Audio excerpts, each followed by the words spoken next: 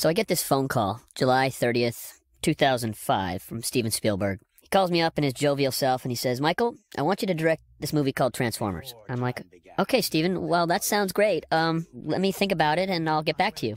I hung up the phone and in 30 seconds, everything that goes through your brain. Is that that little robot toy movie? Is that like a small soldier movie? That was just Steven Spielberg calling me up. Oh my god. This is one of my idols wants me to direct a movie that he wants to be involved in. So I thought about it. I called Adam Goodman, president of the studio at DreamWorks. I said, Adam, so what is this Transformer movie? He goes, well, you should think about it. Adam convinced me to go to Transformer School, which is in Hasbro in Rhode Island. And I'm like, okay, well, let's make the trek. So the next morning, we went into Hasbro. You pass this hallway of, of all the famous toys we all grew up with. And I sat in this big conference room. I mean, they must have had 25 people in there, all trying to convince me to do Transformers. And they started with Transformer School, which is, you know, they basically take you through the entire lore of Transformers. Now, I've been offered a lot of comic book superhero movies in my uh, short film career, and I've always said no because it really hasn't appealed to me. But one thing I did spark to recently was Japanese anime movies. I just love their visuals. It's just a really unique type of cartoon. And I'm sitting in this Transformer, I guess, like lecture, I kept looking at this artwork of just multitude of images, um, and there was something from this Japanese artist. He had some amazingly dark, cool um, images that that just right there in the room inspired me. I kept thinking to myself, I need to make this very real. I need to make this cool. I kept thinking about cars transforming at 80 miles an hour. Um, action images just would just kind of just come to my mind of like, why would I be interested in doing this movie? I did like the lore of Transformers. It's very noble. It's got good morals. It's interesting, but it's like, how do you make Transformers understandable to an adult who has no knowledge of what Transformer toys are? We broaden the story in terms of bringing in the American military. It, it's this big story, but it, it kind of comes down to this little story on Earth, which is all about Sam and having these glasses. This is kind of how the birth of Transformers uh, happened. I've always had the lucky fortune of working with military equipment uh, before anybody else, such as these Ospreys right here. Um, they've never been used in a movie, and uh, uh, I don't think many people have shot this that stealth uh, 117 is either. So I've got this hotline to the Pentagon. I've got this relationship with the, uh, I think the the film liaison Phil Strub, uh, who helped me on Armageddon, where we worked with the Air Force, and Pearl Harbor, where we worked with the Navy and all the branches, and I called Phil up and I said, Phil, I'm going to be doing this movie. It's a fantasy movie uh, called Transformers. And he goes, Oh, the kid's toy, huh? He said, uh, Well, Mike, you know, if we did have alien robots on Earth, I think the American military would be involved, and we will bring the fight anywhere we have to. So uh, let me read the script. I'm excited to read it. And uh, I guess the rest is history. He loved it. Um, uh, and then it's a matter of me going to different bases and trying to convince uh, bases to be imitate Qatar, which is the forward command uh, for the whole Middle East. And we found Holloman Air Force Base um, in New Mexico, which kind of has these white sands, which are test missile ranges for, uh, I think, the Army. We will use deadly force. Right here, this was done at Edwards. These are two F 22s, which are the brand new planes that are costing $130 million each. They can take out six F 16s before they can even be spotted. Um, they are just deadly lethal, and of course, I was the first to use those as well. Why does the military let me use this stuff? Because they look good at what they do in my movies, and um, working with these men and women, I, they're, you know, I've done many years of working with them in terms of, in movies, and um, you know, they're really great people, and they're really dedicated, and I really admire them um, for the service they they they they do for the country. And you know they, they don't work for a great wage and, and but they're just so dedicated to, to country and uh, um, you know so like just diligent and just you know I find many of them so intelligent and uh, um, you know it's just uh, it's always been a great experience when I've worked on these bases, and I, I really have fond memories of it. Um, and very much they're impressed with how the film industry, because we work very much like the military works in terms of the different hierarchy and how it works on our sets and crews. And uh, they're always very skeptical when we show up because they think we're going to be a bunch of Hollywood, but they always come away with, a, I'm sure, with a great respect, and they they tell us that. Um, that they come away with a great respect for what we do because they see it's so similar to the military. Have your crew step out or we will kill you. So this was our first transformation here, and um, the transformation was how are we going to do this basically? I had my animators do rough versions of it, but when we had this first version of that was the very first version I ever saw of that transformation, and it was done by an artist uh, named Keiji He's Japanese. He speaks like no English. Uh, he is the absolute Rubik's Cube genius to figure those things out, of how those parts actually move and come together. I met Keiji in a very odd meeting at uh, Industrial Lights and Magic. I had about 30 ILM artists sitting uh, in a kind of high def room where we are looking at the artwork that my, my my my illustrators had worked for months. I mean, we're talking eight months on. And then I saw Optimus Prime's face in his first 3D kind of, uh, uh, I guess, iteration of him. He looked terrible. He had this fat, ugly face, and I'm like, you guys got to be kidding me! This is awful. What happened to Optimus? And uh, all of a sudden, in this small room, this guy pops up in the back, and he goes. That Optimus Prime is an insult to the Japanese people. That is an insult to the Japanese. I want to do Optimus Prime. But you can tell someone else was obviously modeling Optimus Prime's fat, ugly face. And Keiji knew this. And so I said, Keiji, first of all, this is the most bizarre meeting I've ever been to, the biggest, funniest outbreak I've ever seen. And you know what? Just because of that, I'm going to let you work on Optimus Prime. So not only did Keiji do Optimus Prime in terms of the 3D modeling, but he did the amazing Rubik's Cube of how uh, we were going to transform these, these uh, robots. Uh, what the military is very concerned of when, when they do movies is they, they just want things to be accurate. They're very into like those uniforms. If they are not Qatar issue uniforms, we just can't use them. Um, right here, I shot this in the tank graveyard. These are old tanks. Uh, some are just kind of shells of other tanks where they actually put them out in the field uh, in this white sands and they use them as target practice. Uh, we actually started the shoot. Um, the very first day was uh, I shot this uh, little, I guess, Mars rover. I shot that I got it assembled because I had this idea for a teaser that was the very first teaser that came out this summer, uh, where we just began to start. We, we just started shooting. I just wanted to make to mark our date of July fourth and to say we were real.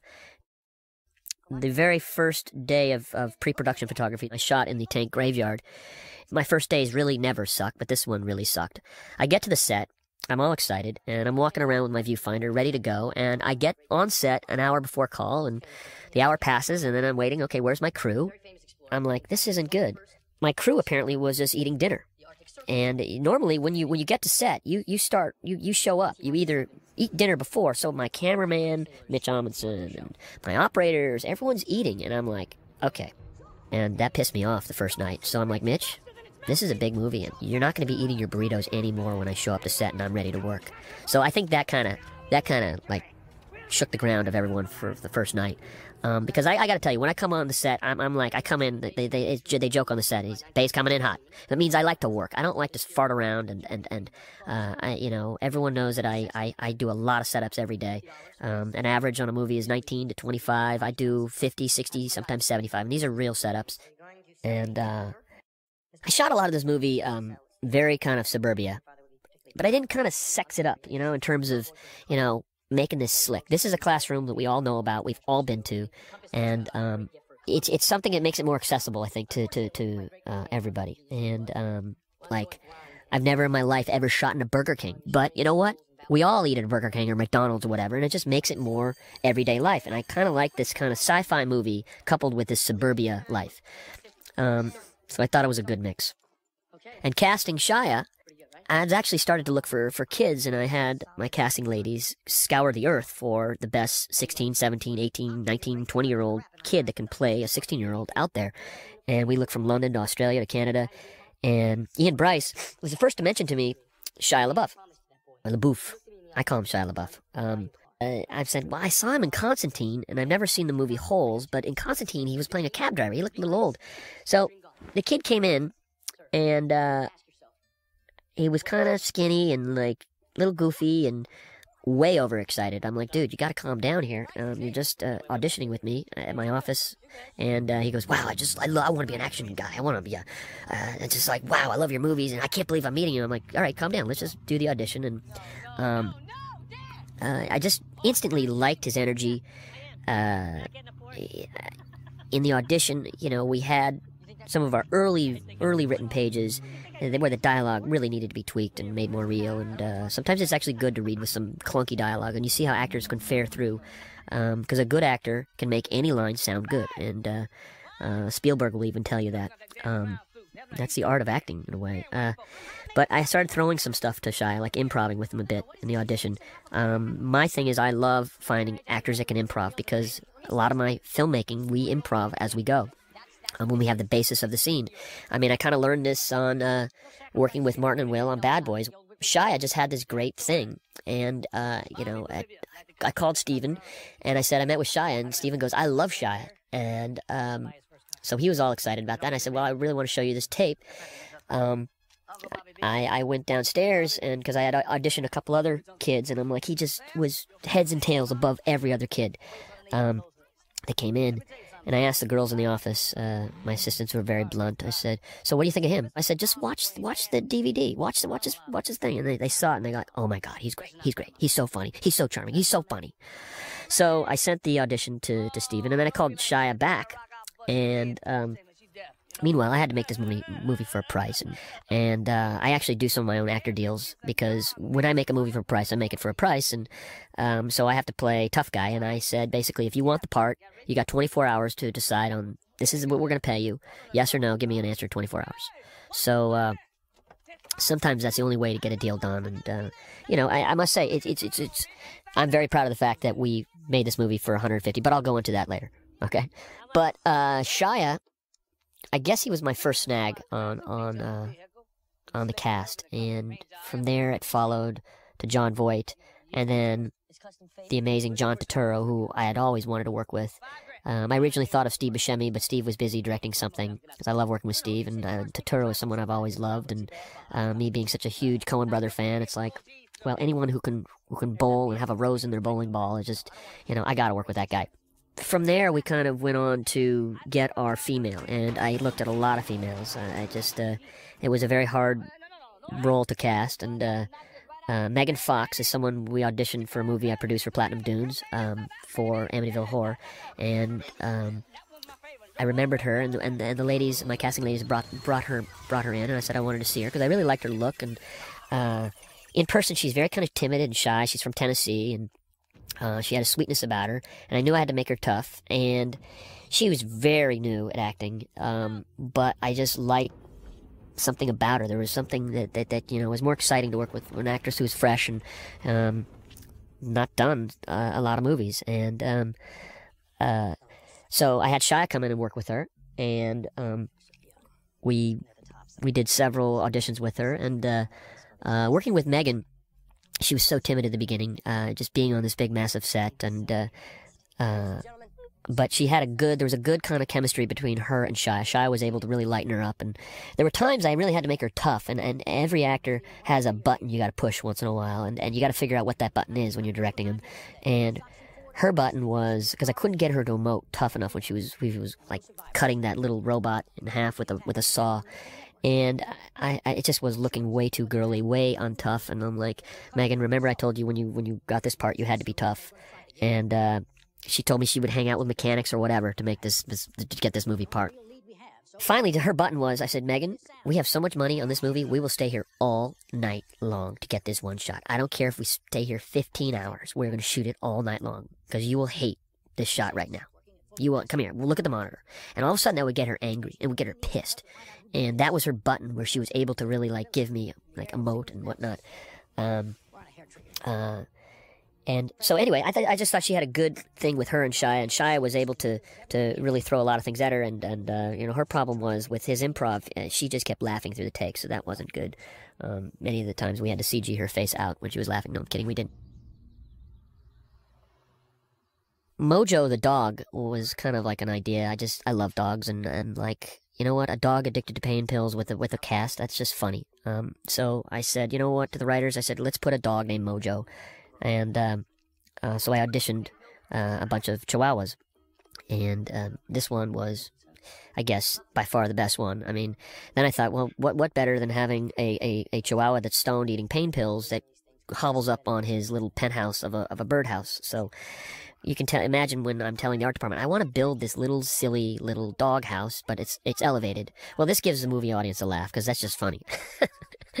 um, right here, the dad right here. This is my my best friend, Robert Offer, who's my lawyer, who I've known since nursery school. He has a problem with his kids. He doesn't let his kids walk on his grass, and I've always I save things up that I learn in life for movies, and I'm like, what neurotic dad doesn't let their kids walk on his own grass? Well, that's this is Robert Offer right now, um, and this right here is complete improv, where this is just an example of how we're playing around with Kevin Dunn and and Julie White this amazing mom who just actually won a Tony, a Tony Award. At this time, we can't confirm whether there were any survivors. Our bases worldwide are, as of now, at DEFCON Delta, our highest readiness level. We're dealing with a very effective weapon system that we have not come across before. But our prayers are with the families of the brave men and women. I've never seen a weapon system like this. The thermal shows this weird aura around the exoskeleton like it's cloaked by some kind of invisible force field. That's impossible. There's no such thing as invisible force fields except, like, comic book stuff, right? Man, I don't know. Is that? My mama, she had the gift, you know? She saw things. I got the gene too, and uh, that thing that attacked us, I got a feeling it ain't over. How about you use those magic voodoo powers get us the hell out of here, huh? When I took that picture, I think it saw me. It looked right at me. All right, we gotta get this thing back to the Pentagon right away. They gotta know what we're dealing with here. Our radio's fried. I got no communication with Ariel. Hey, my foot. Uh, how far do you live from here? Not far. Just up that mountain. You have a phone? Yes. All right, let's hit it. Dude, are you sure we're invited to this party? Of course, Miles. It's a lake. Public property. This is a scene where, for Shia, you know, our, our character Sam, this is a, a, an experience where every guy's had this experience where the tough guy comes up and kind of tries to embarrass you in front of his friends. And um, this moment right here is the moment where I think every guy, first of all, identifies with him, but you like him instantly because he is able to come back with, with comedy and wit. This guy, John, right here, he jumps up on this tree, and I'm like, wait a minute, that's great, that's funny. I mean, what kind of kooky ass friend would hang on a tree and make this kid embarrassed? So I wasn't going to make this kid the geek because I didn't want the geek. I wanted the geek who was sharp, who was witty, but was able to come back with humor. And right here with this whole coloring book thing, it's uh this is I think where you kind of fall in love with this kid. No, it's a, it's a good book. Your, your friends will love it. You know, it's got mazes in it and, you know, little coloring areas, sections, pop-up pictures. It's a lot of fun. That's funny. People were very worried about the tone of this movie, where it was very edgy and hard, and then it had these funny kind of um, suburbia kind of touches. And you know, I, you know, the, that's a thing that everyone talks about the tone of the movie. They love the tone of the movie, and that's what around the world when I when I did press for this movie, everyone talks about the tone and how funny it is, and um, you know, that's just kind of what I like doing. It's uh, um, my thing. Oh, God, I can't even tell you how much I'm not your little bunny.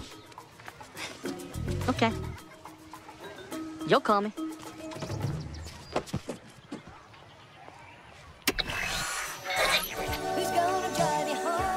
Hey, man, what's wrong with your radio? You drive her home tonight. What? She's an evil jock concubine, man. Let her hitchhike. She lives 10 miles from here, okay? It's my only chance. You gotta be understanding here, all right? All right, well, we'll put her in the back. I'll be quiet. Did you say put her in the back? I, I called Miles, I'm not putting her in the back. You gotta get out of my car right It's now. a party okay? foul. What rules? Our bros before hoes. Miles, I'm begging you to get out of my car, okay? You, you can't do this to You me. gotta get out of my car right now. So when I signed on to do this movie, uh, God, there was a lot of talk on the internet about Michael Bay will wreck this movie. He won't know how to do this movie. He doesn't know anything about Transformers.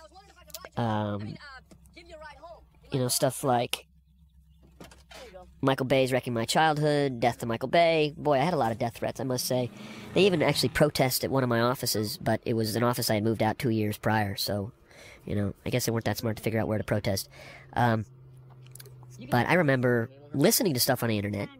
Uh, I would listen to some of their ideas that they would talk about um, because fan support is very important, and I wanted them to be happy with uh, Transformers. But but I was trying to introduce a world of people that have never seen Transformers to this movie, and um, you know, and I think in a way it was better that I wasn't a, a, a Transformer fan because I was able to make this movie more accessible and um, uh, to the non-fan, I guess.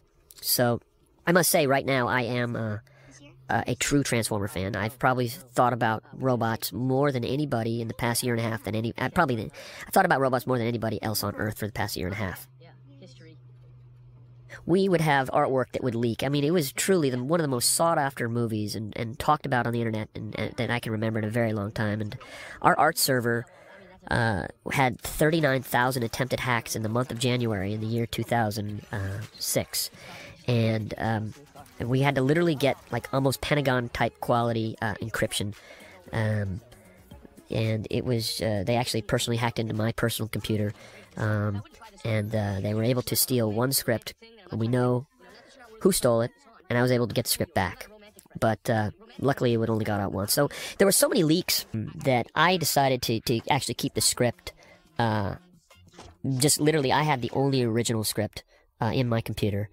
Um, and I was you know, certain actors had ones that are older, and everyone had coded scripts, and we collected all the scripts from the crew. We, we gave them out, gave them, they gave it back, and uh, all those different measures. And there was one script, a very old script that got out on the internet that everyone read, and everyone kept commenting on, and um, but it was so old. Scripts can change in a month. You can change so much in a script, um, and theirs was like probably five months older than what the script was in the movie. Um, I mean, there were we had in case the script got out, we had names of our robots, AKA names, but uh, you know, there were there were many characters that, that you know, I, I, I tried to create. Uh, like, let me give you an example. We're working on this movie, budgeting this movie, and they have to make these toys, like molds and like the idea of these type of molds, a year and a half out. We didn't even have a script, and Ian Bryce came to me and says Hasbro needs to know what Transformer vehicles and what kind what are you using for the Decepticons, Autobots and Decepticons? What kind of cars? And I'm like, literally, I had to come to a choice with like, okay, I think maybe a tank. Um, I, I don't know if we can get that amazing uh, bomb searching Buffalo uh, truck that they've that, that, that, that's brand new that they're sending to Iraq. If we can if we can maybe do that one, and I definitely if I can get an F twenty two, but I don't know if we can get F twenty two. Um, so that's how we kind of had to decide. We had to decide very quickly. There it is. I had fun. Um, so, you know, thanks for listening. Oh yeah, yeah. You, you think I'm shallow, huh? I think you're should. No, no, no, no, no. I think um, I think there's a lot more than meets the eye with you. Okay.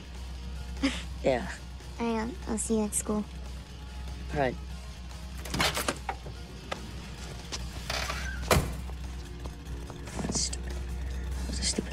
Somewhere to meet the eye with you. Stupid.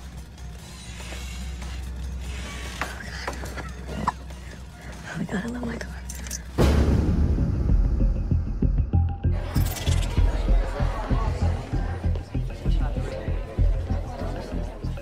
Guys, I think the other team figured it out. Iran. Come on, man. This is way too smart for Iranian scientists. Huh? Think about it. What do you think, kid? Chinese? Know why. This is nothing like what the Chinese are using. This is Air Force One, level of flight level We will hunt down this enemy. When we do, we'll know just what to do with it. I also wanted to make other characters like uh, like in the Boombox um, on Air Force One.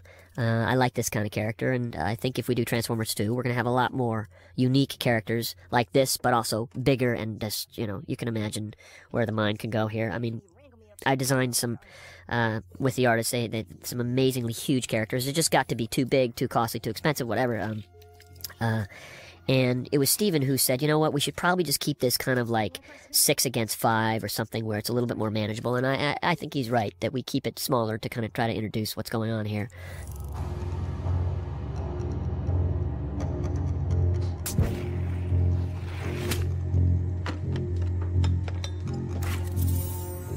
Steven says I saved 30 grand right there by doing that little one camera move where we had a guy grab the boombox. He's right.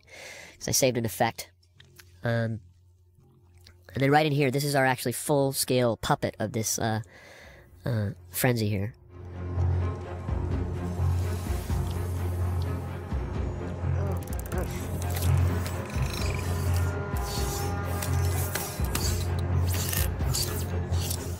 Frenzy was animated by uh, a French artist uh, at ILM that uh, I like this very quirky kind of movement. And um, when I was directing the animation, because I would actually every single day I would work with animators where they would send me down what they're working on so that I can actually direct them.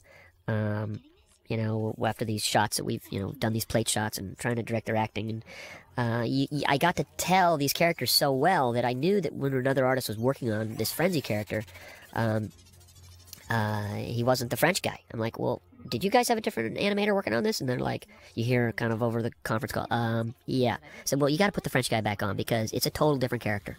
Um, uh, you know, and he says, well, he's on another, on the movie. He's working on Pirates. I said, well, you got to get the French guy back. Whatever you got to do, you got to get the French guy back. Someone! They're hacking into Air Force One. We need a senior analyst. I think they're planning a virus. A virus. It's streaming right now. They are planting a virus and stealing a whole lot of data from your system at the same time. Code red, we have a breach. Air Force One, someone on board has breached the military network. I'm in the cargo hold. Clear, clear. You gotta cut the hard lines. What? Whatever they want, they are getting it. Sir? Permission to take down a defense network. Cut all server hard lines now. Cut all server hard lines now. Eh. My theory on effects. Well, it, it, it all comes down to lighting. And I, I feel everyone in their brain has something that we don't really know that's there, but we can tell when something is not lit right. We don't know why it's there, but we, we just know there's something wrong with this shot, and it's all coming down to lighting. Because we're used to looking at the world the way we see it through our eyes. After I did Pearl Harbor, uh, Dennis Muren said to me, he says, "You raise the bar on effects," and uh, I'm like, "What did he mean by that?" And he goes, you, "You've just made effects more realistic." And the first time I went to ILM or them was on Pearl Harbor, and I had a big meeting up there where I just felt that Lucas's stuff is awesome, but it's very pastel in terms of their light. It doesn't look real. The shadows aren't dark enough. Um, it's, it's, it doesn't have enough contrast. It doesn't have the right ref- ripple reflections on metal. So that was one of the big achievements I think we worked with on Pearl Harbor in terms of shooting a movie at 12 o'clock noon and making it, uh, not disguising it at night and, and showing it in broad daylight and, and, and making the planes as real as possible and all these other ships. And so I think that's what Dennis was talking about. Well, you know, this we had to take it to a brand new level in terms of trying to make reality here. Um, so we spent a tremendous amount of time and software and just trying to invent new tricks uh, on how to light these robots. Um, they use this process called ray tracing. Um, when you look at a car, you go out in a parking lot. I've shot a lot of car commercials, so you, you, I was trying to explain you can't just have one quality of light on a car on a piece of sheet metal. It will reflect soft light, hard light. It'll have pings. It'll have long lines. Cars are like a nightmare to light um, in terms of if you're actually doing a to- total digital model of a car. So um, you probably couldn't have done this movie. Uh, I guess as of two years ago.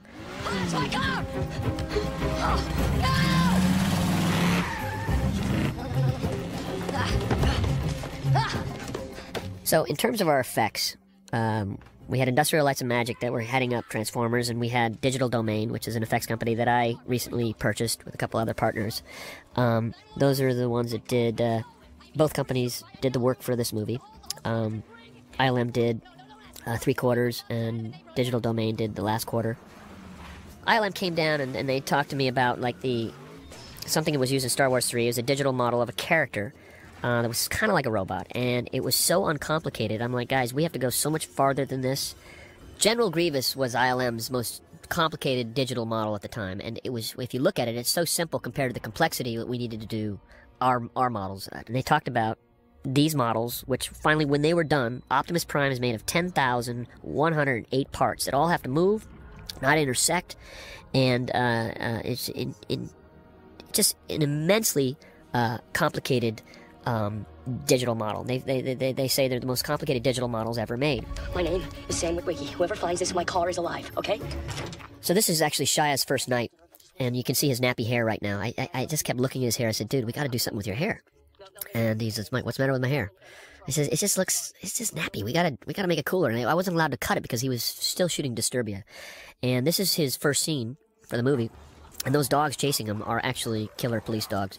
And Shia's running, and there's a man in a big dog suit stands behind him, and he was there with a whip, and he was calling the dogs. Well, they actually missed the guy with the big dog suit where they're supposed to chomp on the arm, and they kept going after Shia. Shia was almost killed that night. I am not kidding you. Thank God he was fast. Uh, it wasn't good when the uh, the guy with the whip he says, "Uh oh, uh oh." the whole crew started chasing after the dogs with the big chains on their necks, so we were able to tackle them. Listen, listen, listen. Good, you're here. Let me see your hands. No, no, no, no, no, no, no. It's hands. not me. The guy's inside. Shut up. Walk towards the car. Put your head on the hood.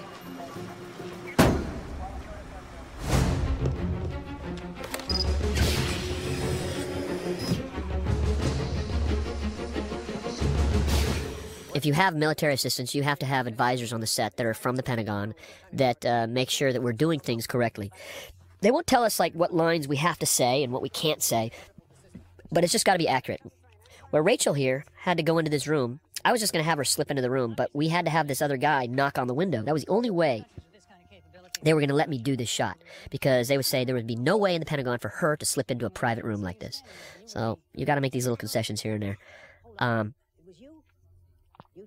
and I said to the guy, Are you sure that would never happen? No way. That would be impossible. Are you sure? nope, that's impossible. So, okay, I'm like, All right, this is the way we got to block the scene. Satellite imagery shows North Korea doubling its naval activity. Maybe it's a precaution because isn't that what we're doing? The signal pattern is learning. It's evolving on its own, and you need to move past Fourier transforms and, and start considering quantum mechanics. There is nothing on Earth that complex. What about an organism? A living organism, maybe some kind of DNA-based computer. And I, I know that that sounds crazy. That's enough. That's enough. We have six floors of analysts working on this thing. Now, if you can find proof to back up your theory, I'm going to be happy to listen to you. But if you don't get a filter on that brain mouth thing, you're going to be off team. You understand?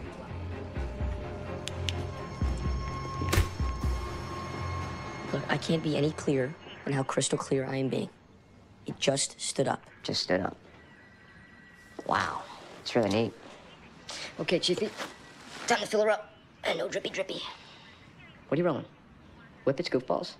Little wowie sauce with the boys? No, I'm not on any drugs. What's these? Down in your pocket. Mojo. Is that what the kids are doing now?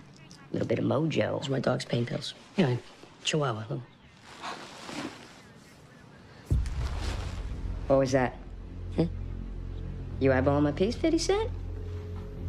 Oh, you wanna go? Make something happen, do it. Because I promise you, I will bust you up. Are you on drugs? This is actually the very first day of official shooting right here. The, the New Mexico White Sands. Let's hope this telephone line works.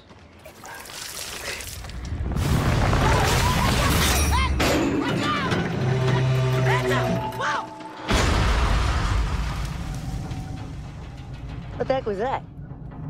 No sé, cagano. El letrero por poco me rompe el culo. English, dude. English. The way we made this Scorponok work was I, I, I, I remember something we did in Armageddon where we did these pyro, primer cord explosions that, that um, primer cord's like a very stable kind of explosive device that we did like it's like it's like rope and we put like 150 of these in a row and they would they had a computer that was able to fire them milliseconds apart from each other so it made a ripple effect. And that's how we did this shot right here with his ripple shooting up and the thing jumping out right behind him. Um, I remember doing the animatic for that shot, saying, you know what, that shot's a trailer shot. And um, that was Tyrese's second day, um, where the guys actually had to run over a carpet of explosives as the stuff was fired behind them. And I'm like, guys, do not stop, do not trip, and um, we're gonna fire these things off, and uh, the stand's gonna go, and because it will really hurt your foot. So that that look is, uh, I guess, one of fear and real uh, terror there. Um, a lot of these guys, these these these rangers here, are the real deal. They're actually uh, many of them are very decorated United States SEALs and Rangers.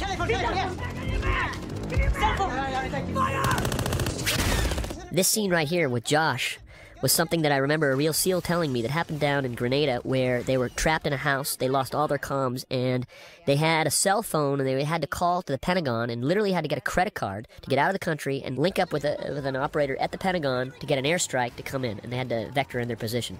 So something I always held in my uh, my my ideas of, of wanting to get into a movie. So this was an idea of making it kind of fun and serious at the same time. And I just like the whole chain of events and how fast you can see this airstrike come in. And it's called an Air Force Combat Controller. That's what Tyrese plays. And uh, an Air Force Combat Controller is a guy who actually, it's, it's a job that a guy can use a gun, he can help them in battle, but he's a very important tool in terms of getting very deadly air support, which is what they call danger close, which is where they'll shoot missiles.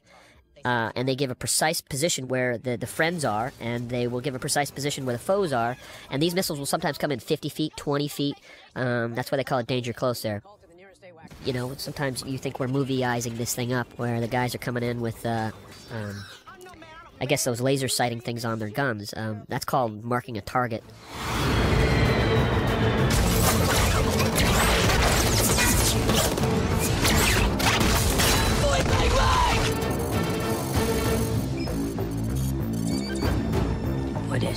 important. We need air support, and we need it now. Roll in strike package Bravo on unknown target. I authenticate Tango Whiskey at time 0300 Zulu. Attention aircraft. This will be a danger close fire mission. These guys on the uh, on the the AWACS that was done at Edwards Air Force Base. That that literally, I told these guys on the AWACS. These are all the real guys. I said to the guy in charge of the AWACS. I said, "How would you run this mission? This is what's going down on the ground. This is what's happening." And he and literally within three minutes, these guys were talking. This is I did not add one line here. This is exactly how they talk. That's as fast as they talk. And literally, we were capturing it like a documentary. Uh, it's amazing how fast everyone's talking over each other and uh, a multitude of things going on. And what's going on, Josh, right now is laser designating uh, the for these missiles coming in right now, and that's actually how it's done. These uh, warthogs are, are, I must say, very kind of scary because they've got a very low kind of sound to them, and they uh, they get very low to the ground, and um, they're slow enough where you can see them, and there's just it's got this evil whine to it, and they're just so deadly. These things.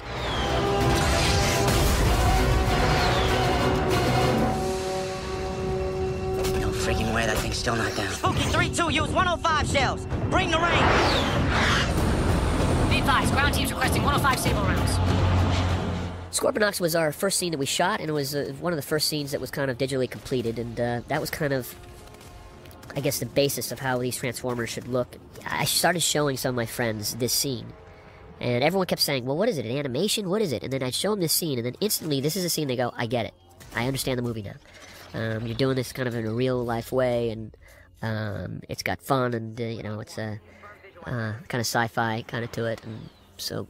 I guess this is when we started to convince a lot of people like even the Japanese came in, the Toho distributors. I had to do a lot of dog and pony shows for a lot of people um, because uh, you know we were the, I guess, one of the very few non sequels of the summer, and um, we had to kind of position ourselves. And a lot of theater owners, well, what is Transformers? I don't get it. So we did this little compilation reel of 20 minutes, and it was something that we started showing around to theater owners and. Uh, uh, to try to get people on board to understand what we have here. Because everyone thought this is kind of what is it silly? Is it animation? Is it this? Is that? We started showing people this. Like for example toho which is the biggest uh, movie i guess distributor ownership in, in japan which is a gigantic market uh, they came into my trailer. I showed them 20 minutes of stuff and literally you just heard the word oh and I guess that meant good in Japanese. And they, they upped our estimate. They doubled our estimate of what we're going to make in Japan. And uh, they they gave us the number one house Toho, uh, uh, you know, I guess chain in uh, Japan. And um, but that reel was a way to really get uh, people on board with this movie. And uh, you know, because I kind of knew what we had early on, and um, you know, I remember going in to see my very first fight in Vegas, a live fight, Oscar De La Hoya and I walked in, and there was Peter Chernin, who I'm friendly with, and you know, good jovial fun. And he's walking in with his friend, and, and he goes, "So I hear you got Transformers," and I said, "So I hear you got Die Hard," and I'm like, "Yeah, they're the same date." And I just kind of said, "Yeah, but you'll move, don't worry." And of course, they moved. You know, it's like it's got kind of a game of chicken. I think they saw our our our second teaser. We wanted it to be a hard edge teaser because we wanted to, to show the fans that we're going to do a serious, cool Transformer movie, and we weren't making it too kiddie, and it was going to uh, uh you know appeal to the thirty year old uh, uh, guy and girl that, that uh, you know grew up with Transformers, as well as you know the younger kids that uh, you know are just getting into it. Looks like there's a message embedded in the signal. Let me work my magic.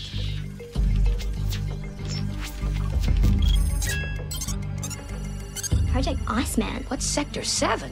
Who's Captain Witwicky? Shh, shh. Are you playing those video games again? So you can tell right here. I mean, this guy, uh, you know, uh, Omar right there, uh, he wasn't in the script, but I always add weird stuff like this right here. Bam, going through the glass. Why are we doing that? I don't know. It's funny. All right? That's just my humor. Um, so this is where the studio goes, what are you doing? Is this director out of his mind? Um, but, you know, when you see it in a, every single movie theater I've seen it around the world, they all laugh. Um, you know, what can I tell you? C-17s lifted off of this very base. We're not told where they're going. The government is being very quiet about what's going on. Mojo, They were headed directly towards North Korea. Uh, stop at the parking, Mojo. It's too early, please. We had 145 million to make this movie. That doesn't sound like a lot. I mean, it's it sounds like a lot, but it's really not. When you look at some of these movies like Pirates, which is 350, and, and Spider-Man, which is 325, and I don't even know how you spend that much money on a movie. Um, I'm really proud of the fact that we did this movie for ultimately 151 at the end of the day. Uh, we were very judicious about where we use the effects, and I must say a lot of that's attributed to Steven, because Steven would put the reins on me. And literally, Steven is very, very tough about budget. He wanted me to think really hard about how many effects I use and to use them and choose them wisely. He would say, like, listen, when I did Jurassic Park, it was only 50 something effects. And we all remember it as more. When I did War of the Worlds, it was only 117 effects. I kind of thought, are you kidding now? I think it would be more than that. So he really got me to thinking how to use my effects wisely, and, and you know, because they can get very pricey, and uh, that's where the budget can just balloon. And uh, so I literally animated the whole movie in terms of every scene where we were going to do big effects. Literally, a lot of these effects in the movie are exactly how we did them on our little Maya files in my office. I started to get excited about potentially what I can visually show. Like this shot right here of Shia going in, this whole scene. A kid on his stupid mom's bike that is now going to confront a monster. I kept thinking this could be a movie. Every kid has to have a movie that they own. You know, when me growing up, it was like E.T. and really like Raiders of the Lost Ark and Star Wars. Those were two movies that kind of, you know, there's seminal moments in my childhood of like cool movies I saw. And um, that's what I wanted this movie to be for kids.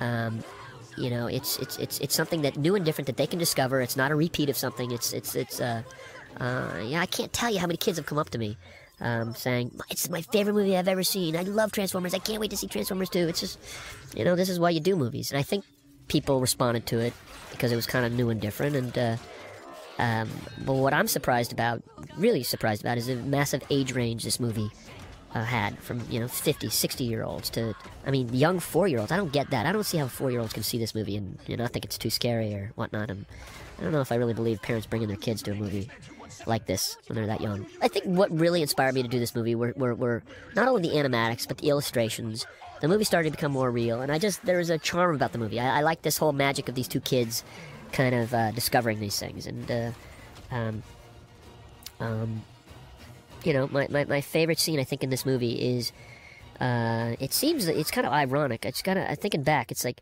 all my movies, like first hour in, I always had, there was always one montage. Kind of you can kind of see this in all my movies, like The Rock. Sean Connery, Nick Cage breaking into the rock, and then uh, uh, Armageddon, the the astronauts lifting off, um, or uh, Pearl Harbor, the Japanese kind of getting ready to attack, or the asteroids coming in and landing, and um, um, the the kids meeting the Autobots. I kind of, kind of, a theme, I guess, in my movies. I do these montages that uh, uh, really inspire me, and um, they always seem to happen an hour in. But that's kind of my favorite scene when you see Optimus kind of transform in front of the kids.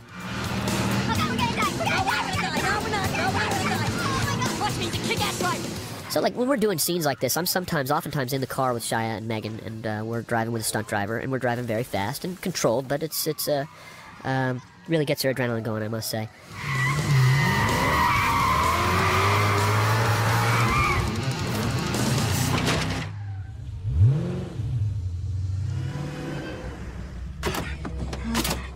We're locked in.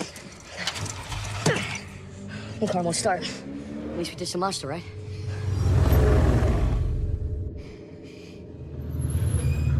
Okay. I actually, I'm very, uh, as Shia always says, I'm the director that will put my knee pads on. I'll be right next to the actors. Um, um, when I do action, uh, oh God, you hear these rumors. It's the guy they love to just get on to the, oh, Michael yells, Michael's a screamer, blah, blah, blah. Um, no, Michael's like a, a tough ass basketball coach that is in your face, especially when you're doing action. For one, because of safety. Two, because I'm trying to get your adrenaline level where I think it needs to be for that scene. Um, how many action scenes do you see where it seems like actors are just kind of walking through it? Um, I really want that adrenaline to be real, and I want you to look energized.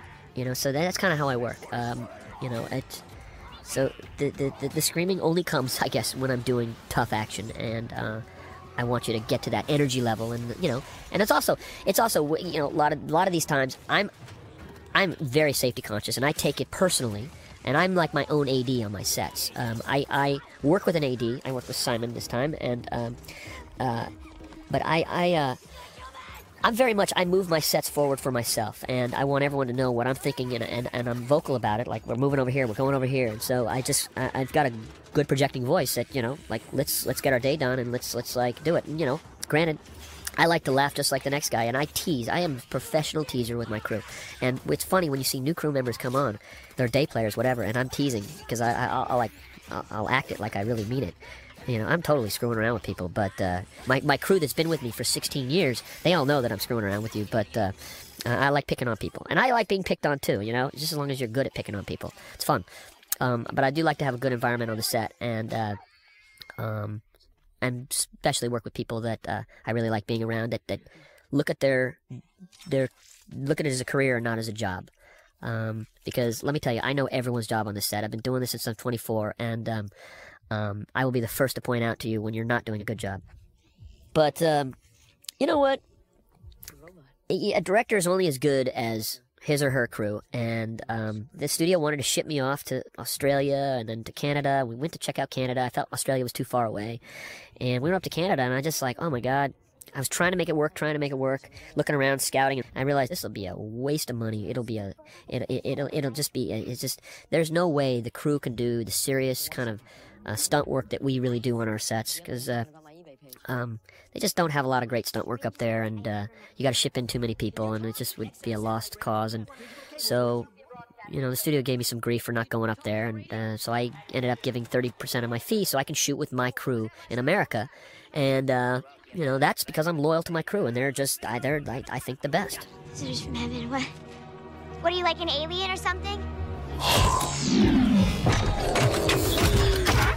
The sound work was done by Ethan Van Ryn and Mike Hopkins, who uh, did the sound work for Lord of the Rings and King Kong. Um, Mike is from New Zealand. Ethan is, uh, I guess, was trained up at Lucasfilm. And I must say, awesome sound. When you listen on this DVD, it is just awesome sound. My mixers, Kevin O'Connell and Greg Russell. Um, Kevin, by the way, is, is the biggest Academy loser in Academy history. He's lost, I think, 20 times. Um, He's done some amazing movies. He's an amazing mixer. As a team, they're amazing mixers. And Kevin and and Greg said to me in, the, in their in all their time of mixing, they felt this was the most inventive sound work they've ever worked with. Um, and meanwhile, they feel it's one of their finest sound designs uh, and and mixing uh, efforts that they've done as of yet. We had to invent so many different sounds here, and uh, uh it just gives these robots such personality, and uh, it's really just a launching pad for where we can go on uh, number two. Right? Yeah. Okay. See, that's better. Okay. Yeah, that seatbelt thing was a pretty smooth move. Thank you. You know what I don't understand? Hmm. Why, if he's supposed to be like this super advanced robot, does he transform back into this piece of crap? Come here. I have no idea why this scene right here, and I've seen this movie from Korea to Australia to all over Europe. Um, America, just why right here in the movie they applaud when this yellow car comes up. Oh, that shot. Let me tell you about that shot right there. That was the most patient I've ever been for doing a stunt in the history of my career. Um, that took exactly three and a half hours for that guy to go up on two wheels. Why was he on two wheels? Well, he was on two wheels because, I don't know, I wanted the guy up on two wheels and, uh, you know, wanted to go old school with a stunt there. Um, that Camaro was a, a prototype that I saw I was looking through all these car companies' new kind of prototypes that are coming out, and I saw this at the Skunk Works at GM. It's this little kind of secret building in California where they do kind of these concept cars, and I kind of knew right away that was the car. That was going to be Bumblebee, and uh, the fans were going to give me grief because it wasn't a Volkswagen, but there's just no way I could do this movie if this was a VW Bug, and uh, um, um, so I just felt this was a that was a car.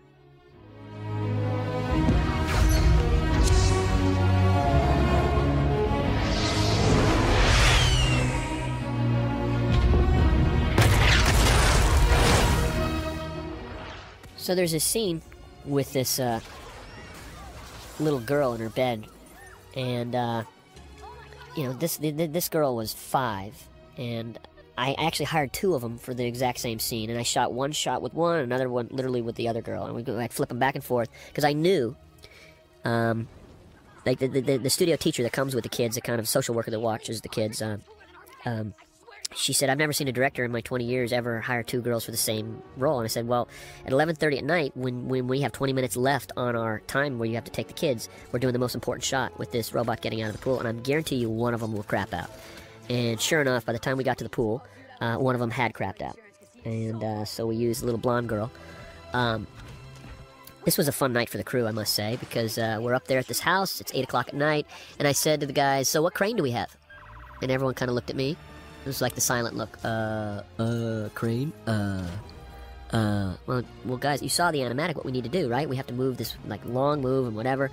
Well, let me tell you, they called everywhere, every place around Hollywood. I don't know how they manufactured this weird ass crane, but anyway, we got to do this shot, and this was the very first take with a girl. Now this is very hard because she has to follow this pole above her six times, and right there when she when she does that little stutter step, I just loved it because she tripped and it just looked more real. Um, and ILM said, "Whoa, just use the other shot because she looks like she's screwing up." I said, "That's what it's about. It's about a kid screwing up. That's what it is." Holy cow, what happened to the pool?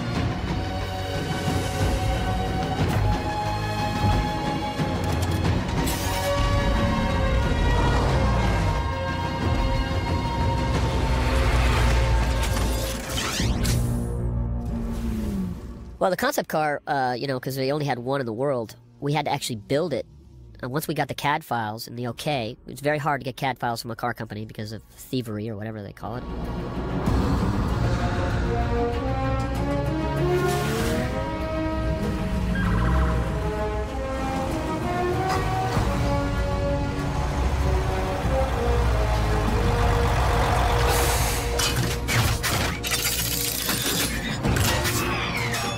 This shot right here with Optimus transforming, um, this is one of the shots we made very early on in the animatic process that got me excited about the movie. Um, this is almost verbatim to our animatic, and uh, we created in my office. And I think this moment right here, when I finally heard all the sounds of the the the. Uh, with Peter Cullen's amazing voice. And thank God the fans actually, I kept listening to fans, and they were right. You guys were right all the way through. But I just wanted to have an open mind of who can play these robots. So, um, you know, you can't fault me for that. But that was Optimus Prime when he speaks, let me tell you. But when Ethan and Mike added those sounds to Optimus, it just it just made it come to life. And you know, when you look at these effects right here, it's just so real in terms of like the reflections of the metal and how they fit in. But you can call us Autobots for short. Autobots. What's cracking, little bitches? My first lieutenant. Designation Jazz. This looks like a cool place to kick it. What is that? How do you learn to talk like that? We've learned Earth's languages through the World Wide Web. My weapons specialist, Ironhide. You feeling lucky, punk? Easy, Ironhide. Just kidding. I just wanted to show him my cannons. You know, there's a whole thing about the, the in, in Transformers about mass shifting, and to me, that was just always a complex thing. It was very hard to to get across in movie making, and uh, I, I wanted to keep the idea of the the, the, robots. If, if you're coming from a vehicle, you've got to kind of stay that same size of whatever that vehicle you could possibly stretch it out to. So yeah, I got some flack about changing Optimus from a long nose, uh, um, uh, from a flat nose to a long nose, and um, know, the long nose just made him so he can be 28 feet instead of the the, the 20 feet that he that uh, he would have been with a flat nose truck, and um, you know I got a lot of flack for that. Um, and then I got more flack for putting uh, uh, flames on Optimus. Boy, I mean, it was literally death threats all started over again, and um, uh, the damn you, Michael Bay, and whatever the hell it was. I mean, it's just you know, I wanted flames. I mean, if you want a pink house, I want a greenhouse. What's the difference? I'm the director, and it's just that's what I wanted, and and. Uh, you know, I knew the flames were barely visible when you saw him when he was transformed, and it kind of gave the, the, the impression that he had ribs and um, it was a picture of a truck that I saw, and uh, I wanted to copy it. And uh, you know, I must say, uh, I went to my Teamster captain, um, and I said, you know, they're they're they're in charge of painting vehicles, and I said, I said, I, I'm telling you, a white guy is not allowed to paint those flames. Okay, I want what we call in LA. I want a cholo. I want a guy who is an artist who knows how to do these amazing kind of cholo cars. It's art. Find them, all right. And so the funniest picture I got in this entire movie was our guy. He's from Mexico. He had a cup of coffee with his hat backwards. He's sitting in the art uh, kitchen. Uh, they took a picture of him and said, Here he is. This is your guy. He doesn't speak any English. We're going to use an interpreter, but he does amazing flames. And I got to tell you, they were the most beautiful flames I've ever seen. He accidentally activated his navigation system.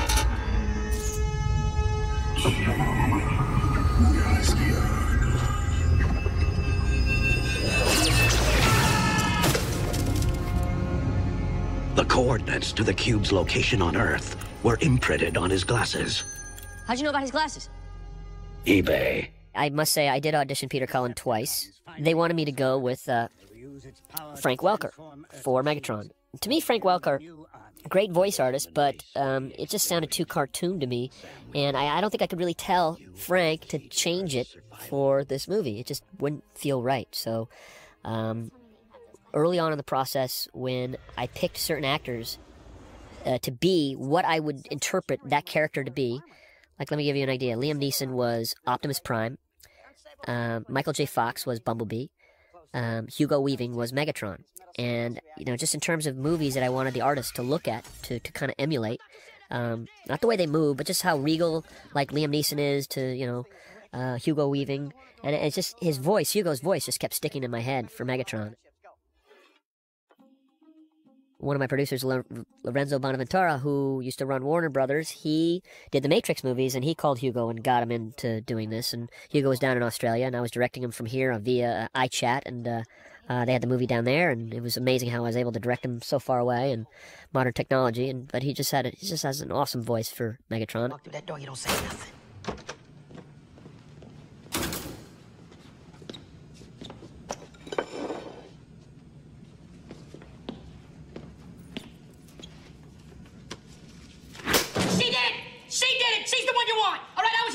Watching cartoons, playing video games with my cousin, and she came in there. all right? Hey, I am not going to jail for you or anybody else. I have done nothing bad my entire life.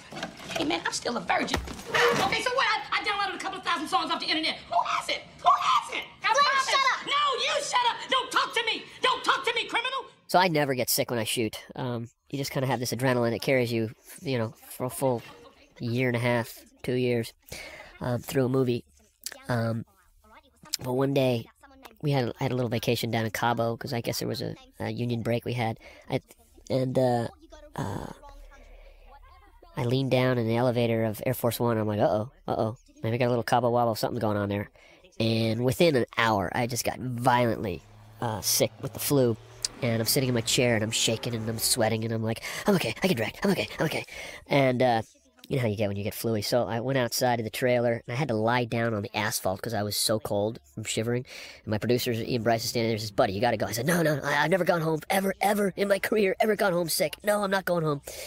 And then we had some gigantic days, like literally two days away. We had to shoot downtown at the cost of like 375 each. And it's a big deal to shut all that stuff downtown. And, uh, uh, then the set doctor came by and she says, You got 102 and a half. You got to go home. So uh, anyway, I kicked it kind of, sort of, like the next day, whatever, but I was sick and kind of whatever, and I had to uh, direct my trailer, so they had a microphone, and uh, I was kind of like Coppola in the, in the Silverfish, where he would direct, it, but he had a jacuzzi in his. But I was trying to direct my crew, and they were so slow without me on the set.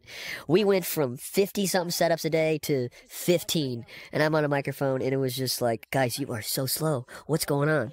Uh, it was pretty funny. Well done. One more thing. Huh? All right, I love you. Sleep good, handsome man. What are you doing? What are you doing? No, watch the path. Watch the path. Watch the path. Please, please, please. No, wait. No, no. no. Sorry, my bad. Oh, I, uh, you can, you can wait for five. You can wait for five minutes. I told you, just stay. Just stay. I told you. Watch. I told you. Okay, you know what? They seem to be in a little bit of a rush. Rush is bad. No. Mojo, Mojo, off the rope! Wait, no, no, no, no, no, no, no, easy, easy, hold on, hold on. this is Mojo, this is Mojo. He's a better one, he's a head. Okay, that's all. Just put the guns away, put the guns away. Please. You have a rodent infestation. Oh, Shall I terminate? No, no, no, no, he's not a rodent, he's a chihuahua. This is my, this is my chihuahua. We, we love chihuahuas, don't we? So, you know, working on these scenes, you know, they're looking at literally window washer poles uh, with different heights. And uh, those arms, we had two window washer poles with, with tennis balls on them so that they can actually kind of have an eye line to watch. Um, uh, but it it makes it kind of hard when you're you're trying to do camera moves without things there and uh, trying to imagine what fits in, and that's why the animatics were huge helps for the actor to see. Um, there are times like this. I this is a shot I made up on the fly, uh, just having Optimus look in. You did not. Any injuries again? You didn't even ground him. Almost, almost. Where are you? No, no, no, no. Come on.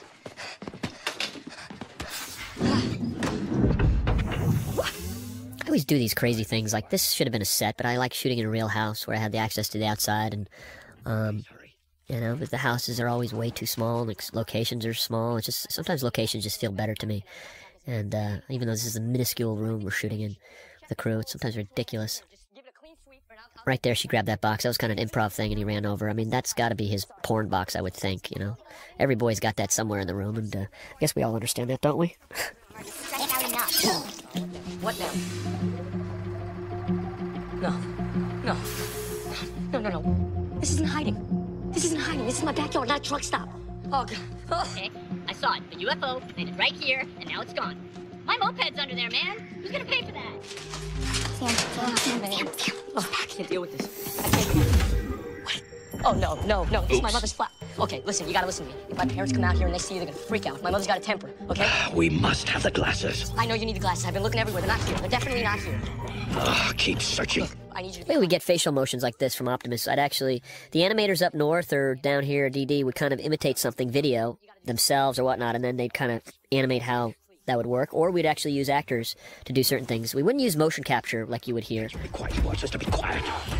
Ah!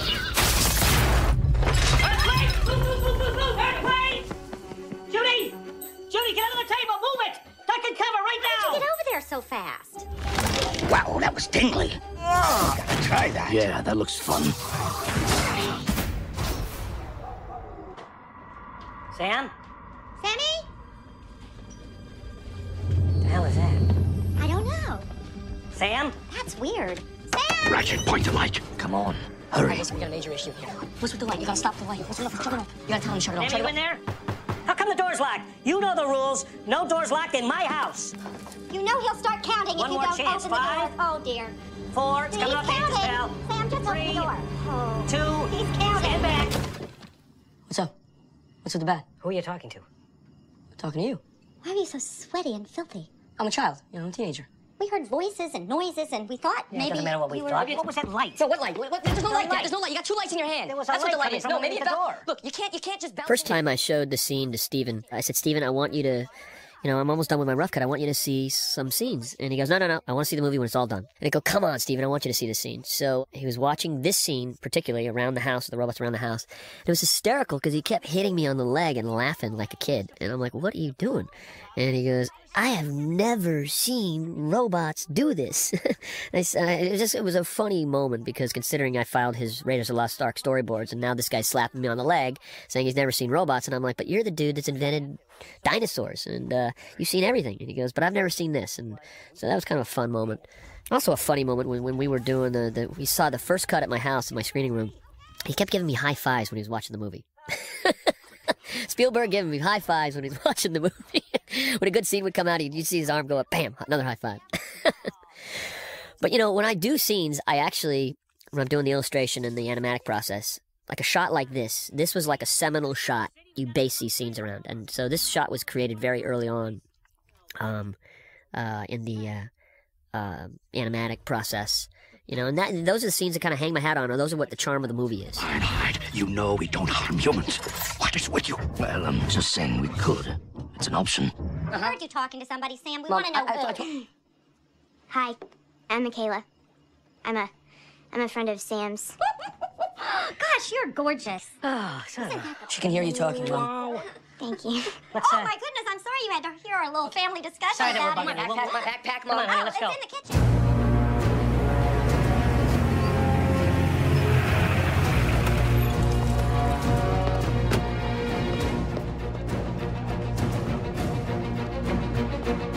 John Turturro, um, in his character study, he kept saying he was trying to imitate me. Now, I don't understand how his character is even slightest bit imitating me, because that's not who I am. but according to him, that's what I am.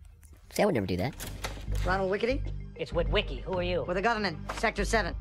John's character, he kind of, we kind of felt that he was a Sector Seven agent. That uh, his his his great great grandfather was a Sector Seven agent. He's been in, been doing it for generations.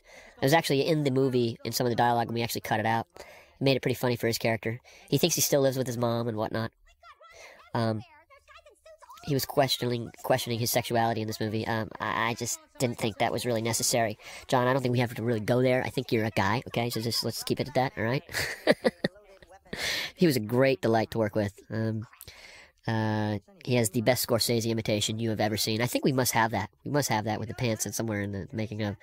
Yeah? Well, I need you to come with us. Well, way out of line. Sir, I am asking politely. Back off. You're not taking my son. Really. You're gonna try to get rough with us? No, but I'm gonna call the cops because there's something fishy going on around here. There's something a little fishy about you, your son, your little Taco Bell dog, and this whole operation you got going on here. What That operation? is what we are gonna find out. I think direct contact. Son? Yeah? Step forward, please. Just stand.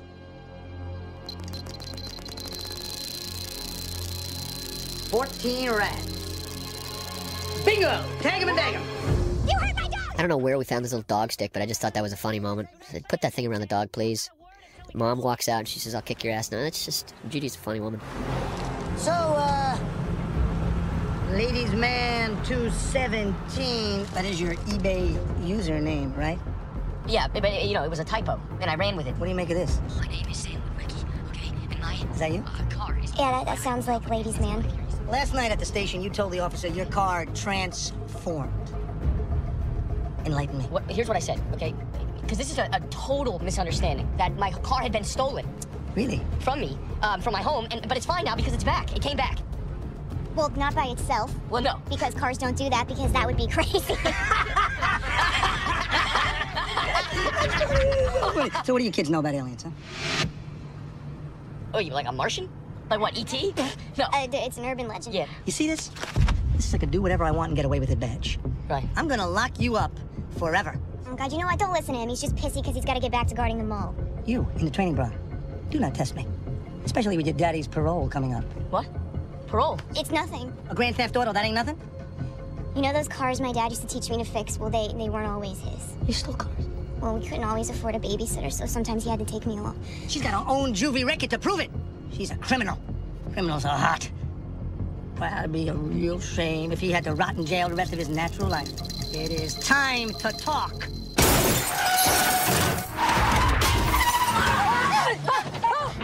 Big as pig! We actually hung these actors uh, on this little contraption that would spin them around. I got in the car with the operators, and uh, it was quite fun. Um, I gotta tell you, this stunt where we strapped cameras right there, bam, that looked like it hurt.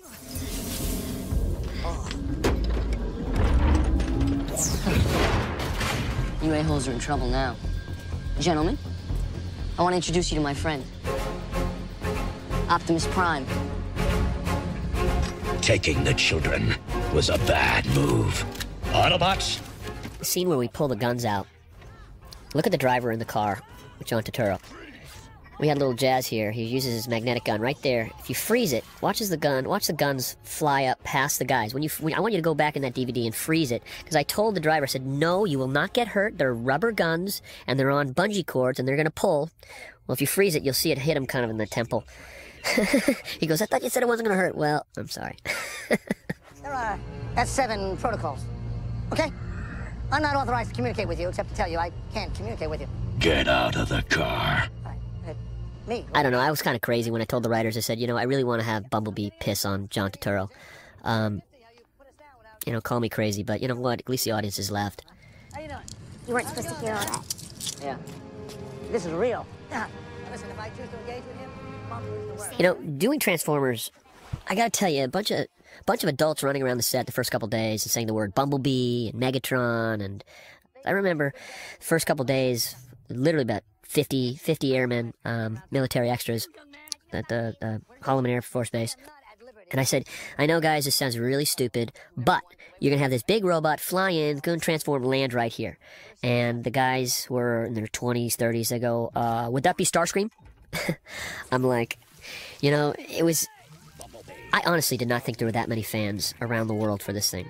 And how much it meant to people that are now in their 30s and you know it, it just it just I you know being told but but seeing it in your life is a different thing but but just for Hasbro to say uh you know this is the largest selling toy around the world in the top it's a top 5 largest selling toy around the world for 20 years um I think that's a big accomplishment but I just didn't realize the depth of of how many fans there were around the world and um you know right now uh you, you just kind of as we were getting ready to release the movie, and the, and the, the, the, the, the, the trailers were always like on Yahoo, like the number one downloaded, uh, most watched, and consistently from when they came out Christmas to almost the day of the release. Like Pirates would come up there and then it would fall back down, but we were always one and two for the entire time, and that kind of told me something. It actually became one of the most download, downloaded trailers uh, in, in, history, according to Yahoo, that tracks this stuff.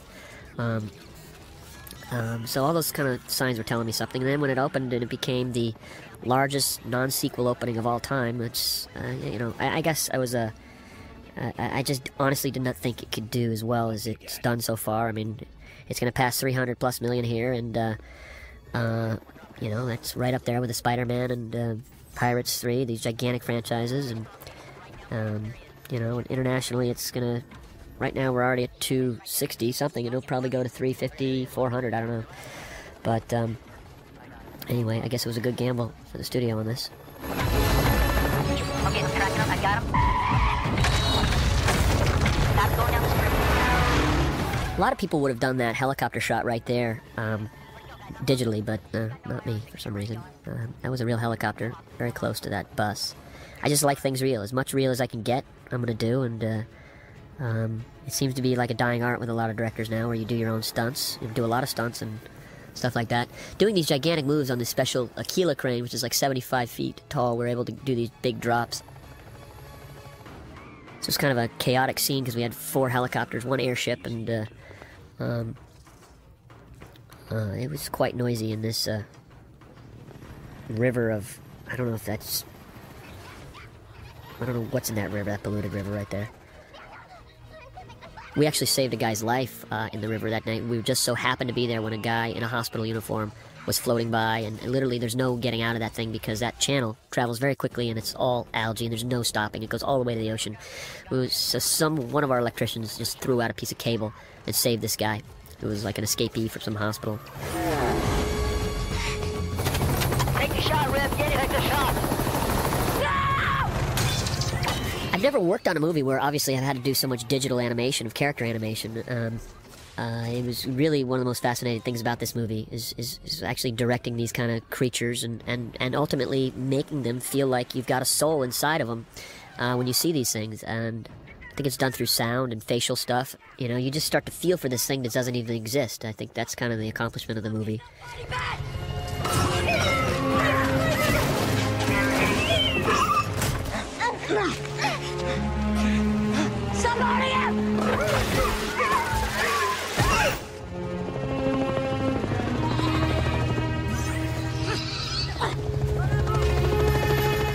Right there, uh, right there, that that's the mock-up of Bumblebee we actually built for 200 grand.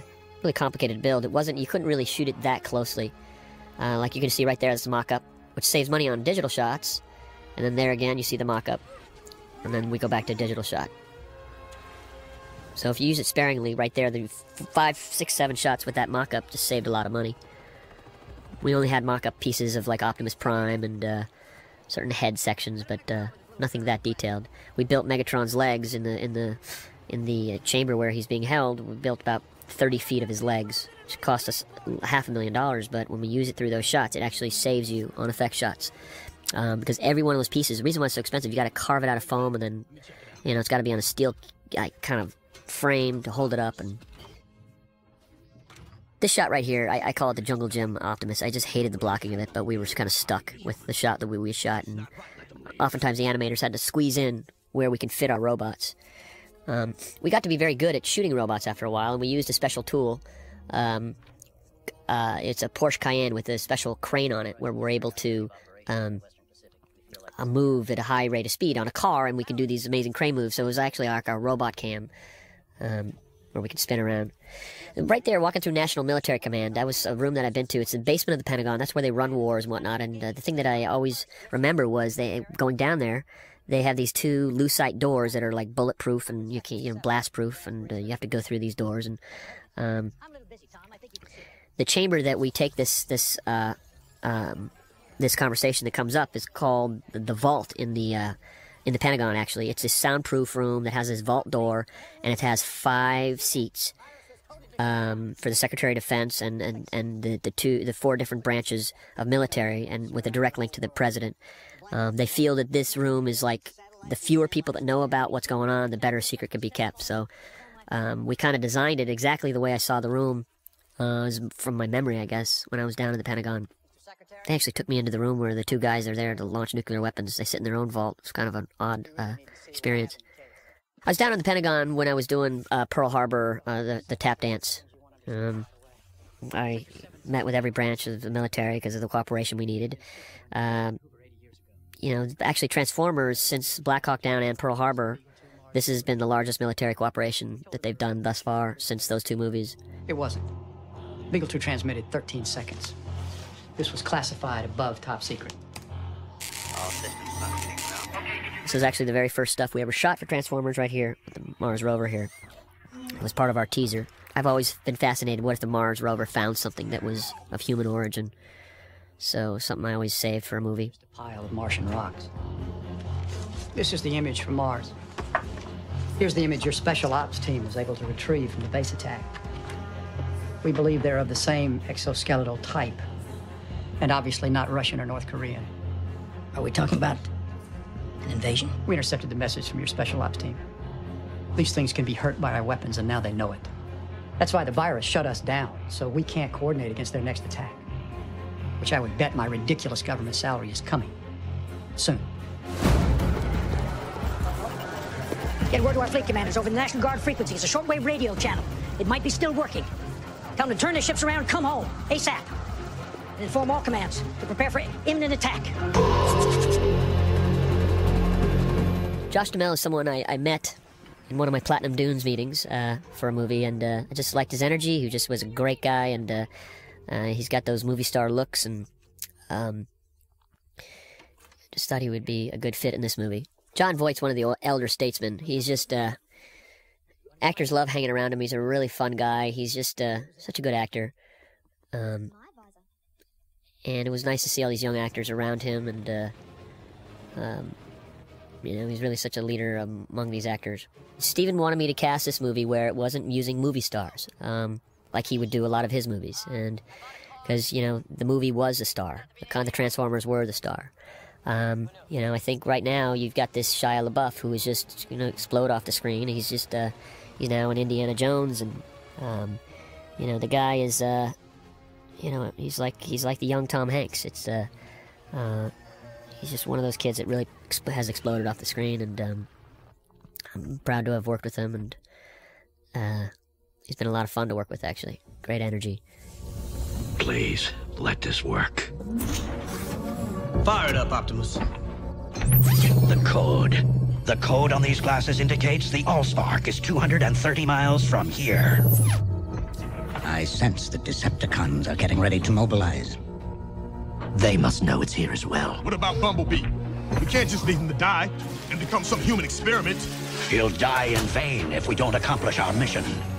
Bumblebee is a brave soldier. This is what he would want. Why? This is the, uh, the Los Angeles Observatory, and um, it's been under renovation for five years, and you know, uh, California becomes a very tough place to shoot.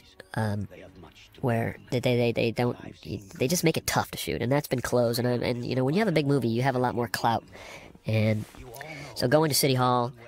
Um, and convincing them that you know we're bringing this gigantic movie here and we're keeping it here in in America and in California, where things are running away, moving out of state. Um, and like we, we demanded certain things like to shoot at this observatory um, i think the only way i got into this observatory from what i heard because it's run by this doctor he knows uh, someone who's married to uh, married into my family called leonard nimoy you know spock who's a big giver of the uh, susan bay and leonard nimoy are big givers to the observatory.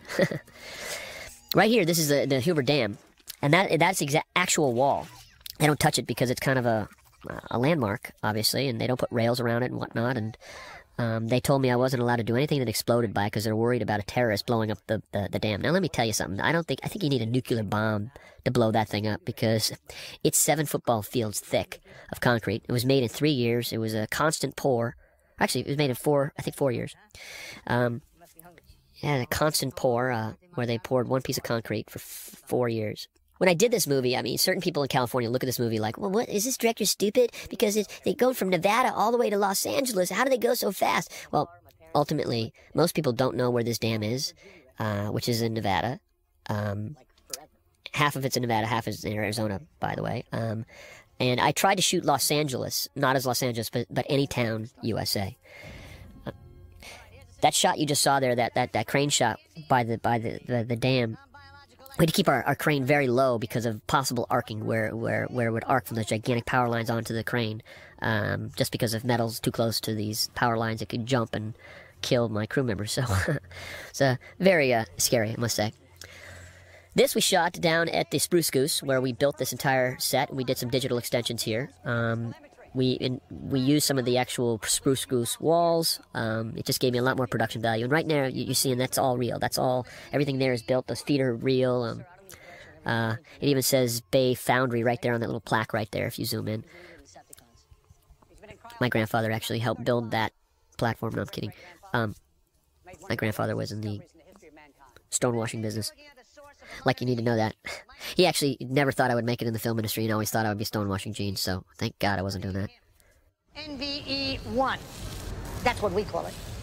And you didn't think the United States military might need to know that you're keeping a hostile alien robot frozen in the basement? Until these events, we had no credible threat to national security. Well, you got one now. So why Earth? Right here is that was a real structure as well. We built part of the hands. Cube-looking thing. Anyway, Mr. NVE-1 here, aka Megatron, that's what they call him. It's pretty much the harbinger of death. Wants to use the cube to transform human technology to take over the universe. That's their plan. we walk into this ne- this next scene, I had a very funny speech for John Turturro. He actually, John, kind of sparked off something I said, and he made up this very funny speech, which is in kind of the added uh, extras, extra scenes. About to see our crown jewel.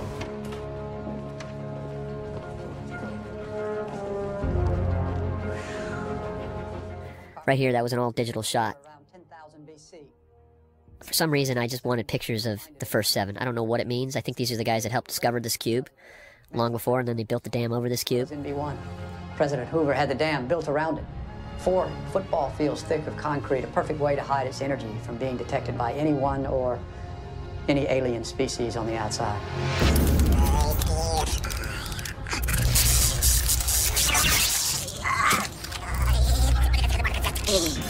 So when we had to shoot by the F-22 on the ground, it was a totally secured area, and they wouldn't allow Simon Warnock, who was my assistant director, near the plane because he was a foreigner, and I didn't want him near the plane because he's clumsy.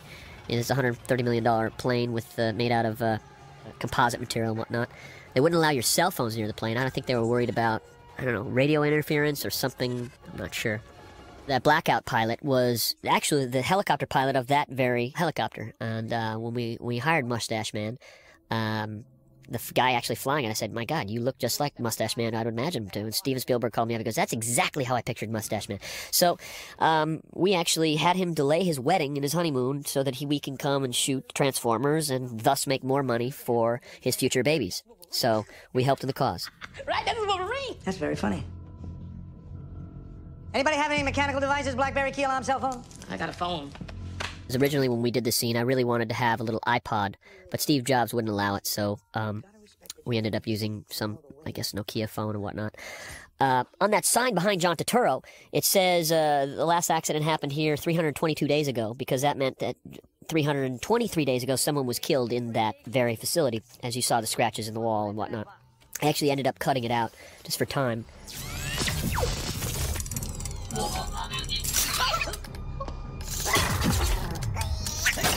Think when we do Transformers 2, I think this is the start of something where we can branch off what can really go on, happen in our world.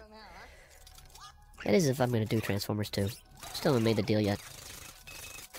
listen, I gambled my fee on this movie. That means I put my kahunas on the line where I gambled my entire fee that this movie would make money.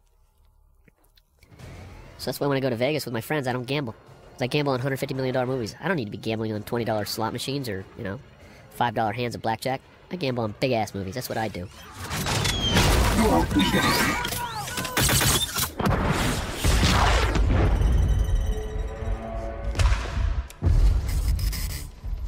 Gentlemen, they know the cube is here. Banachek, what's going on? The NV1 hangar has lost power and what? the backup generator is just not going to cut it. Do you have an arms room? That was Kenny Bates and Ian Bryce. Kenny Bates is my stunt coordinator who I've worked with since Bad Boys. Um, he's like my older brother. He's kind of like a. He's like the Rain Man of stunts. Sometimes you gotta can't understand what he's saying, but he's brilliant in his physics and whatnot. He's gonna kill me for saying that, but uh, um, that's the truth. There's so much physics in when you do stunts and what can go wrong and trying to predict what can go wrong. Um, you know, that's why we've had such an amazing safety record together. Because we do very dangerous stuff, but uh, we're we're just been incredibly safe about it.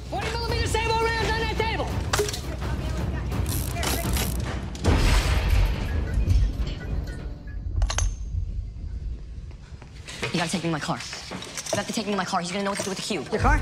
It's confiscated. And unconfiscated. We do not know what'll happen if we let him near this thing. You don't Nobody know. know. Maybe you know, but I don't know. You just want to sit here and wait and see what happens? know. I have people's lives at stake here, young man. Take him to the car. Drop it. Whoa, whoa, whoa. Drop your weapon, soldier. There's an alien war going on and you're gonna shoot me? No, we didn't ask to be here. I'm ordering you under S7 executive jurisdiction. S7 don't exist. Right, we don't take orders from people that don't exist. I'm gonna count to five. I'm gonna count to three. Hmm? Simmons? Yes, sir? I do what he says. Losing's really not an option for these guys. All right. Okay. Hey, you want to lay the fate of the world on the kid's Camaro? That's cool.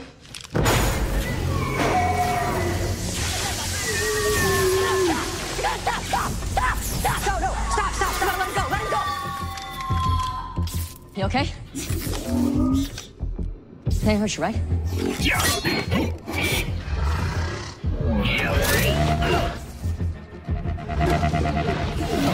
Listen to me. The cube is here. The Decepticons are coming. No, no, don't worry about them. They're okay, right? They're not gonna hurt you. Just back up a little bit. He's friendly. He's fine. Okay, come on. Put the guns down. They're not gonna hurt you. Hey, Comey, we're gonna take you to the Allspark. Steve Jablonsky did our music. Um, he's Hans Zimmer's protege. Hans helped a little on the movie as well. It was uh, very hard to get that theme, that heroic theme I wanted for Transformers. And just one day, I just I said, Steve, that's a theme. I, I played it for Steve, and Steven goes, I love that. It's very memorable because it's just kind of like it sounds like a western. You know, it's just got that great tragic kind of hero, which I liked. It's just it's so powerful how to get the right mood to to through music. That's why I really feel sound on movies is like 50% of a movie. What you try to do with music is you try to set up different themes. You've got the heroic theme for the Optimus. You've got Sam's theme, which is kind of uh, um, by the lake. Uh, you've got um, you've got the Decepticon theme, which is kind of we found this. There's this, there's a church choir in London that's it's just got this very dark sounding church that they record in, and uh, we gave them kind of operatic kind of words that they were saying, and it was just this chilling kind of uh, Decepticon music. Anything's possible. You see that? Sam, get in the car. Mr. Secretary, get out. You saw that Camaro transform right there. That was the officially the lamest shot of the entire movie. Uh, that's why we cut it down. Um, you always have turkey shots, and that was let me tell you a turkey. I'm going to tell you one other shot when we get there. Uh, Steven actually wanted to pay for it. Uh, it's where Optimus's nose unfolds and you see his face, and after after he slides around the Camaro. I had never ended up putting it in the movie. I left it off.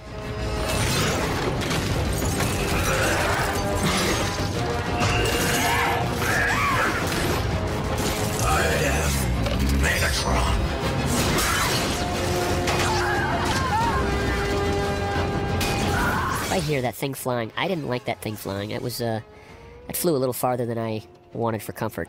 So we had stuntmen down below, and but no one was hurt. Cube's okay? Yeah, it's fine. Put the seatbelt on.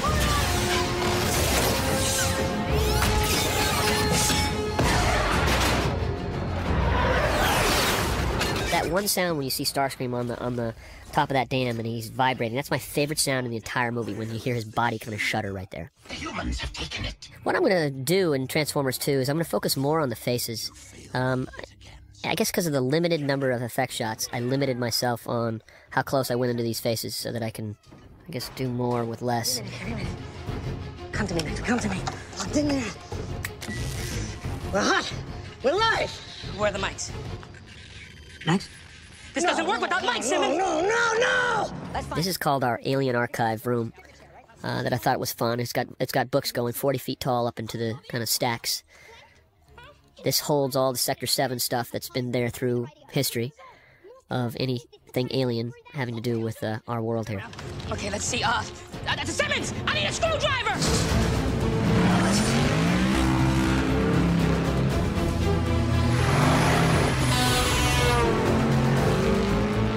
Optimus. That shot where we're, we're tracking behind Optimus, I'm actually in the Porsche Cayenne. We're going 55 miles an hour as an entire semi locks up, and we're right behind. I mean, I gotta tell you, that's a little scary. Um, we shot that scene where they're driving in the Valley of Fire. Um, we actually blew a roadblock because the sun was going down, and uh, which means we passed a cop roadblock, and we kept shooting on this road, and uh, they were so pissed. They hauled uh, Ian Bryce, my producer, and he had to kiss a bunch of hands and in Vegas, uh, uh, or they were going to shut us down at the Hoover Dam. So thank God to Ian. But I had to get the shot, and you know what? I'll run any police roadblock I have to if the sun's going down and I got a beautiful shot. See, I'm never really good at taking no for an answer, so uh, I don't know. Whoops, I didn't see it. Sorry. Secretary Keller. Uh huh. And Northcom Commander. Whoa! Authenticating emergency action. Blackbird 1195. Sir, I have an authenticated airstrike order from SecDef. They're doing this uh, this highway scene. Uh, we shot it on a freeway uh, near Riverside.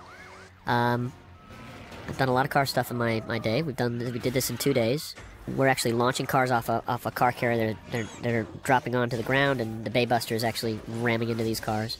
It's a special thing that I built on Bad Boys 2. Go see that disc, and then you'll learn all about it. So on this freeway, you can see all those people standing up there. They heard that Transformers was shooting uh, in the neighborhood, so those are real fans actually watching us shoot. Right here, this is done with a special go kart, and then we transition to the Porsche Cayenne camera, and we tilt down and we pull away. Um, that's done two different moves, and we we seamlessly blend it in together. So I wanted Bonecrusher right here as he slaps through. I wanted him to be look like a hockey player. Um, so I had them right here. This looks like a hockey player, and then we go to a football tackle right there. That was my favorite shot in the whole movie, right there. This was over a freeway uh, that had the big and Luva crane, where we kind of blocked this doing plates and whatnot. Um, what I realized in the animation is is the animators are not fight choreographers, which fight choreographers have been working 20 years and they've been doing this. So they, they spent forever on this stuff right here that you're seeing right now, and they were never getting it right. So what we did is once I got these plates, these shots, I actually used real fighters that had different abilities, different fighting skills, and I would videotape them by like a pole or whatnot. I would kind of imitate these angles, and we actually had humans kind of fighting this out at the same beat, at the, at the same time as these plates. Um, and it wasn't motion capture, but it was just they were able to copy what these fighters were doing in the time they were doing it. So that became a very effective way for us to work. The voice of this little Frenzy guy, he's just got this most amazing human voice that we were able to overlay some uh, mechanical sounds over it. It's amazing that a human can actually talk like this, but it makes it quite funny. If you listen really closely, he's saying the word Tutankhamun. He keeps saying Tutankhamun. I don't know. It just can be a funny thing. You can listen to it.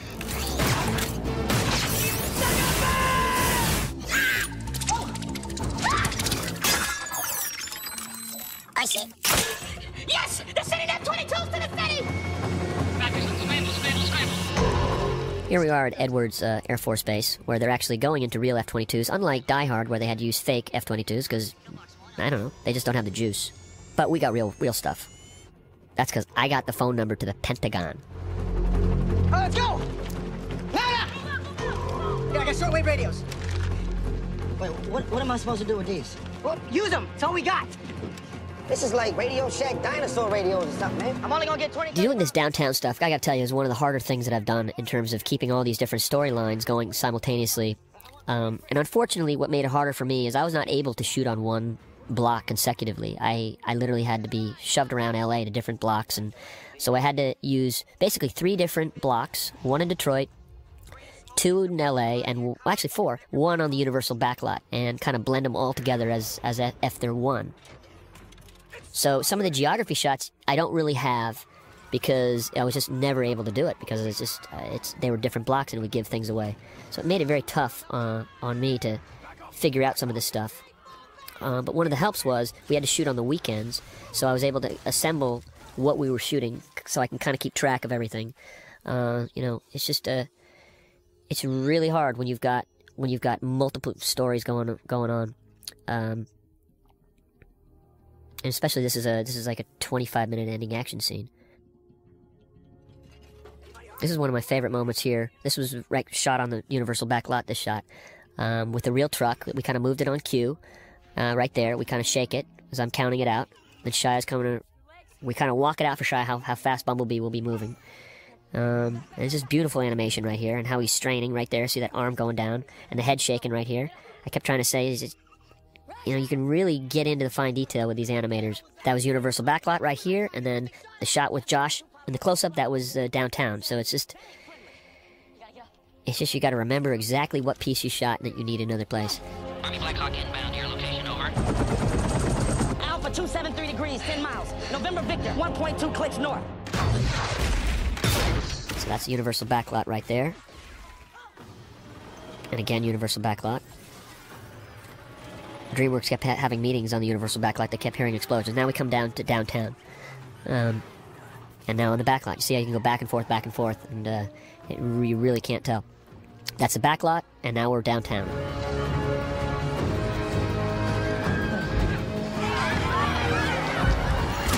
I'm not gonna leave you.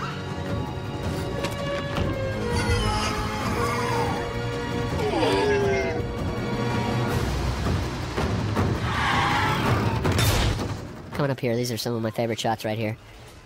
This just takes it to a whole new level. I wanted these robots not to be what I called clunky, fat, effing robots. That was the that was the lingo on the animator's desk. So we looked at a lot of ninja movies, karate movies, samurai, things like Gladiator. Um, we just wanted them to be warriors that can jump and spin and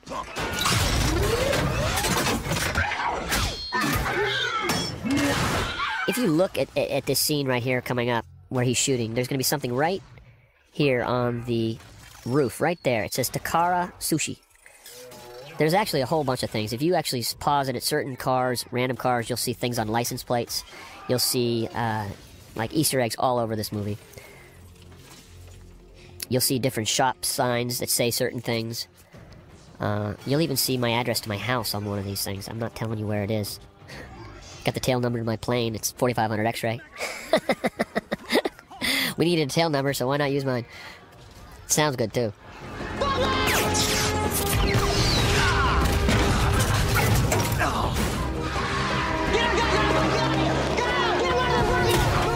We need air cover down here now.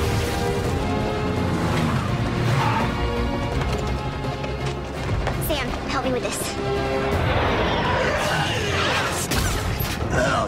Megatron. Come here, little cretin. You want a piece of me? You want a piece? No! I want two! What's going on? Sir, that tank thing's getting back up. These things just don't die.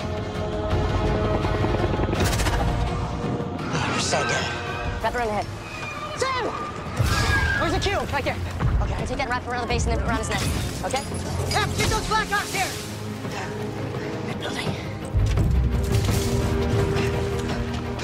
Okay. Uh, all right, I can't leave my guys back there, so here, take this flare. Okay, there's a tall white building with statues on top. Go to the roof. Set the flare. No. Signal the chopper and set No, the I flare. can't do Say, this. listen to me, you're a soldier now. All right, I need you to take this cube, get it into military hands while we hold them off. There are a lot of people are gonna die. You gotta go. You gotta go. No, I'm not You need to go. No, I'm not Go, leaving get until I get Bumblebee out of here, okay? You know, you always want to redo things in movies, and that prop of the cube, it's kind of lame. You know, it's just. It's just not what it should be. You know, but you can't catch everything because you got so many millions of parts moving on. I, I, you know, those Blackhawks that are flying through downtown. It was the only time in my life I've wanted a religious service to end quickly because uh, we were not allowed to fly them close to uh, downtown. Why this religious service was going on, right where Shia's running towards. I was even offering, thinking of offering them donations so that we could keep continuing shooting, but they didn't want to buy that. Watch out! Girl, get that tow truck out of here. Going, I'm going! Get out of here now.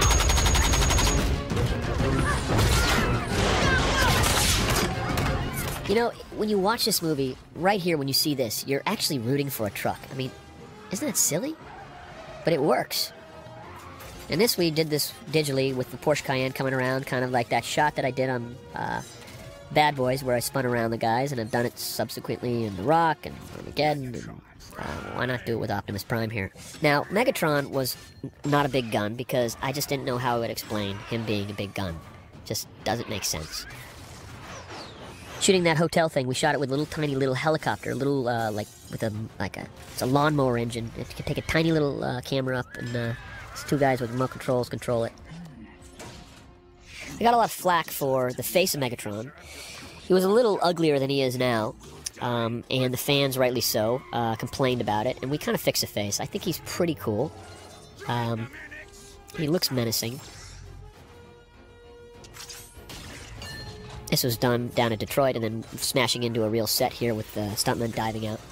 But shooting the deli shot, it was very complicated because we had to shoot it against blue screen. We had to rip up the car violently and we had to throw it once it ripped up into the window. So we shoot it first with people inside the deli, then we have Shia run past the, the deli window several times. Then we rip up the car and, and we kind of pull it into the window right here. And then we kind of marry them all together to make it look very dangerous.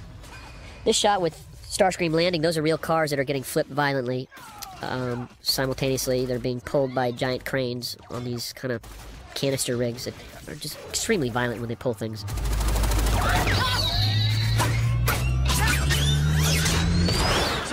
So imagine no robots there and just kind of figuring out timing of like how long that plane's supposed to transform to flying out.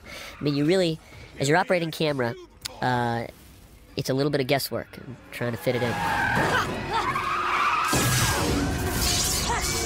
There's Ron. You just saw him there, the African American sitting in the chair. He was, uh, believe it or not, Ron is homeless and uh, a very intelligent homeless man, and he doesn't. We offer him money. He doesn't want it, but he is a huge fan of movies. And what he does, he knows everything about the film industry. He knows so many people in the business. And he literally becomes a mascot of the set. He followed us wherever we went. He actually rented a car or hitched away, got a bus ticket, and he made it to Detroit. And we were all surprised to see him there. And we, I, I told Ian we got to get him a hotel room, and uh, he didn't want it, but we forced him to take it. Um, but uh, you know, Ron's gonna be on my movies from now on. Uh, he's a great guy. That was the train station down in Detroit. It's now gonna be, I think, destroyed. So this is the last movie to be shot there.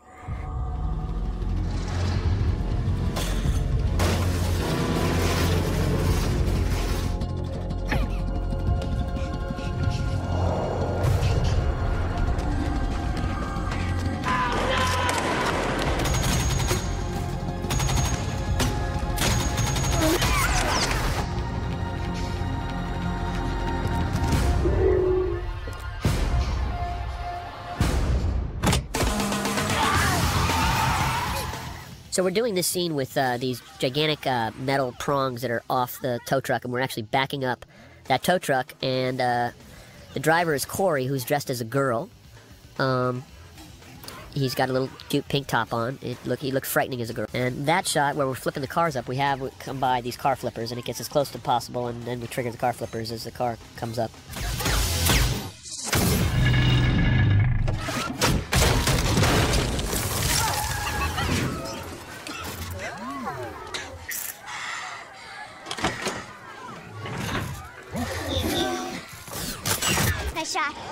Tank is definitely dead now. All right, let's go. We got business. Now, this scene where we did downtown on this rooftop, it's about 20 stories tall. Shia is escaping from Megatron and he climbs on one of these statues. And uh, Ian Bryce, my producer, goes, uh, Well, you can do this blue screen, right? I said, No, I want to do it as real as possible. Let's do it real. Let's hang Shia out there on this, uh, let's hang him by wire.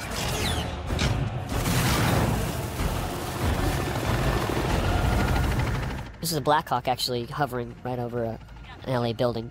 It's kind of an interesting sight having Blackhawks flying through Los Angeles. Such low altitude. Right there, that's a real tail of a helicopter mock-up that comes past Shia. Um, you know, it's safe because Shia's ducking down, but that thing is actually busting kind of plaster concrete and whatnot. But those are the type of shots that I like to involve the actor in. So it just gives more intensity and realism to the scene. I said to Shia, I said, Shia, I'm going to hang you out on this building, and, uh, you know, there's not a lot of foot room up there, but you're safe with wires. And he says, okay, all right, I'm cool. I'll, I'll do it. I'll do it.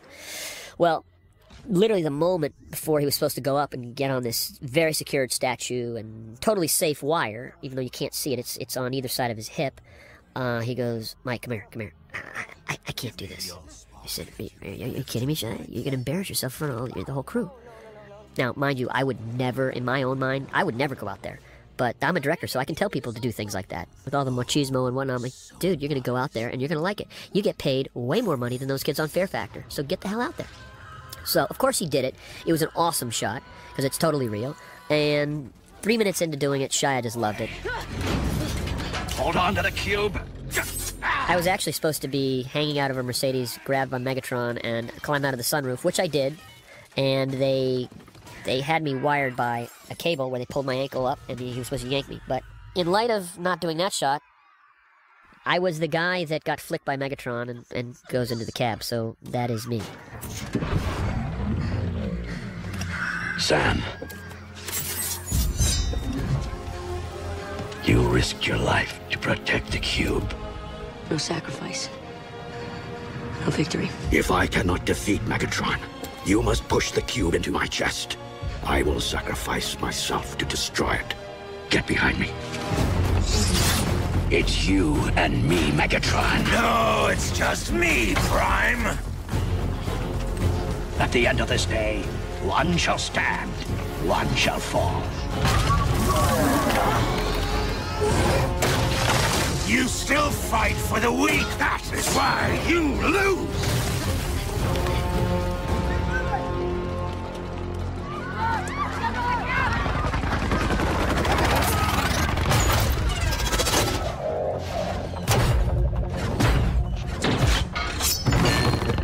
Fighter jets in 60 seconds. We got friendlies mixed with bad guys. Targets will be marked. Bring the rain. Let's kill these things. Move, move, move. Remember, aim low. Armor's weak under the chest.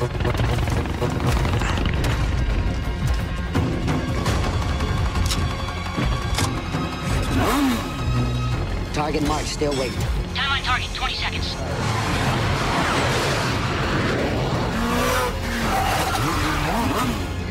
F-22s are still waiting.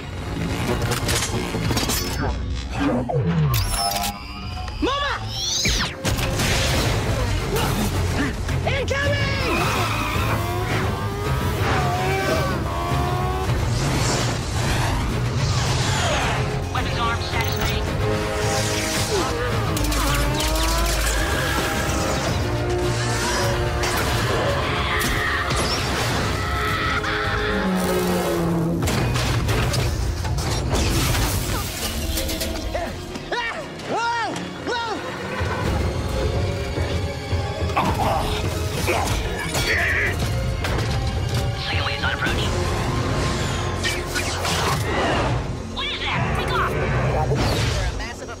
Doing the aerial shots, basically, I'm having my helicopter pilot fly uh, with a uh, VistaVision, which is a much wider negative, larger, so you can move it around a bit, and he's flying as fast as he can go through these buildings and around.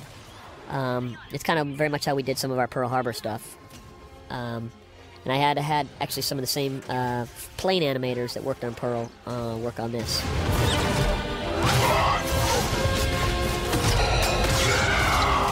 When I went to test screen this movie with the studio, we did it in Arizona, and we were doing a family theater where it was a bunch of kids, like at five o'clock with parents, and then we were going to do an adult uh, screening with adults about eight o'clock, and they were both 500 person houses, so they're very large. What I do when I put my movies together is I actually will put like a small group in a screening room, different age kids, where they'll watch a very rough cut, give me some ideas. It's very good to have show your movie up on a bigger screen so you can see it and, and, and put it in front of people. You can see where they get confused, what they're liking, what's not working. So I did that twice. With uh, first started with nine year olds to 16, and then I went from 16 to 25 year olds, and it prepared me for I guess my studio screening. Even being a Final Cut director, it's still intense because they come there with 30 people from Paramount and DreamWorks. Everyone is nervous. They make the, the they determine what they're going to spend on advertising. That very moment, you get numbers. So we watched it with the families. It went well. They were laughing at the different jokes. They were not laughing at some of the adult jokes. There was several applause through the screening.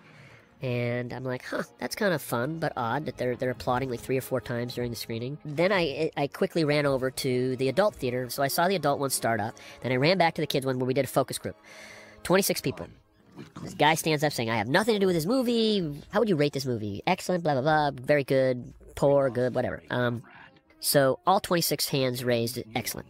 And I'm like, huh, well, okay, it's a fluke, it's a family thing, whatever. Then I ran back to the adult screening, and I sat next to this guy, and I was just sitting in some random aisle seat where I had a little sound box where I got to control the volume, because the volume is, is not really precise because it's not fully mixed sound, and it's a little abrasive at times. And the guy knew I was a director because I told him, because he, he asked what that box was. And halfway through the movie, people are really enjoying it. You can see the adults are laughing. And I asked this this guy who's about 30, I said, so, like, does this movie, like, um, do you like this kind of movie? And he looked at me and goes, eh, not really my thing. Nah, not really. So I'm thinking, this movie sucks. All right, it's just going to be a kid's movie. All right, fine, it'll be a kid's movie. Every emotion goes through your body when you're a director sitting there watching 500 people at a time see your movie, and um, they don't care who you are, what you are, nothing. They just they'll they'll tell you. They'll be frank as as as as. It's just it can be a brutalizing experience because they will tell you how bad or good your movie is. Then we did a focus group with the adults, and we had a huge round of applause at the end of the movie. And I'm like, wow, that's kind of odd. These are adults. This is a robot movie. What are they? What are they applauding for? All right, this is a kids movie. So we go to this uh, focus group, and this woman who was, I gotta tell you, she was like 40, and she says, "Oh, this is after they raised their hands, which which out of 26 people, 24 of them raised it excellent, and two very good." And I'm thinking, well, that's kind of odd because that just never happens. I mean, those are that's it's like it's a lot of people saying excellent. Um, uh, and this woman raised her hand. She says, "I was dragged to this movie. I didn't want to see this movie," and um, she goes, "But you know what? This movie it reinvents the superheroes. It, it, it kind of." She goes, "I'm tired of the capes and the suits and all that stuff, and this totally is something new and different that I've never seen before." And that's when it kind of hit me. And then we got the numbers for the kids' audience, which was a 94, which is that's a huge score. I've never had that score in my life. I mean, those are that's that's a massive number. And then we got the adult score. It was the exact same, 94. So obviously the studio is, is doing cartwheels, and um, I guess it was a good experience uh, uh as far as movie testing goes.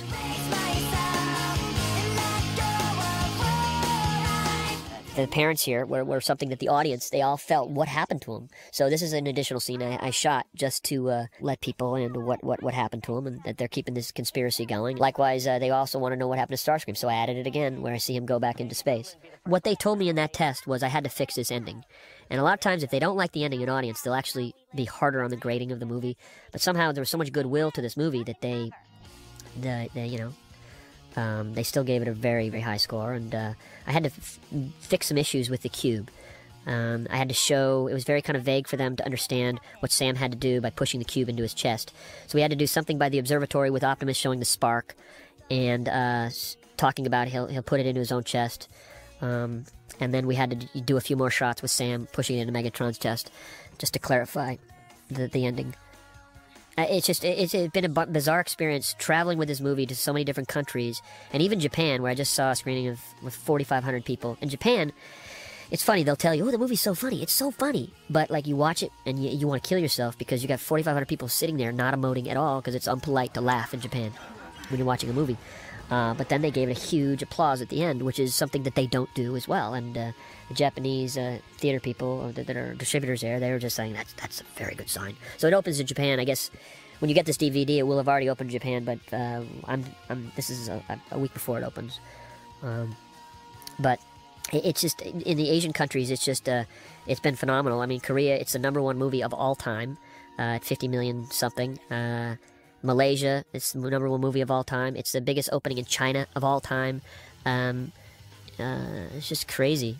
Transformers was the most fun experience I had directing a movie. It was definitely challenging, but a lot of my movies have been challenging. I just it was a new experience experience for me in that, that working almost like on an animation movie with live action.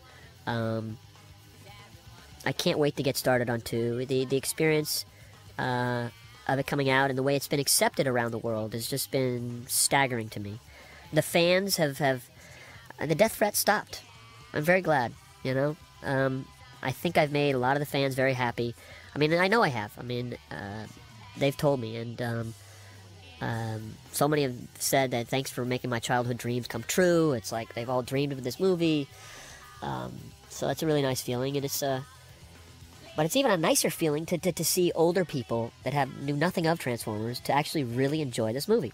And um, I'm just proud to have worked with the people I worked with, and I uh, can't wait to do it again.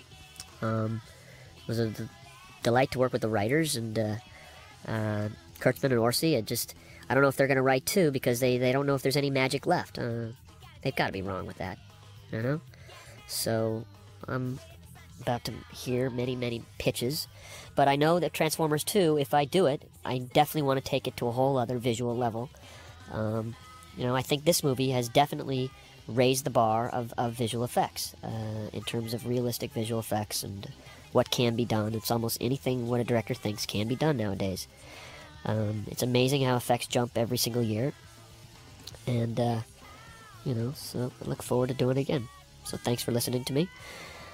yeah, some of it I hope I'm not blabbing, but uh, it's hard to sit in a dark room right here with, with a microphone in front of you and talk for three hours. Till next time, see you.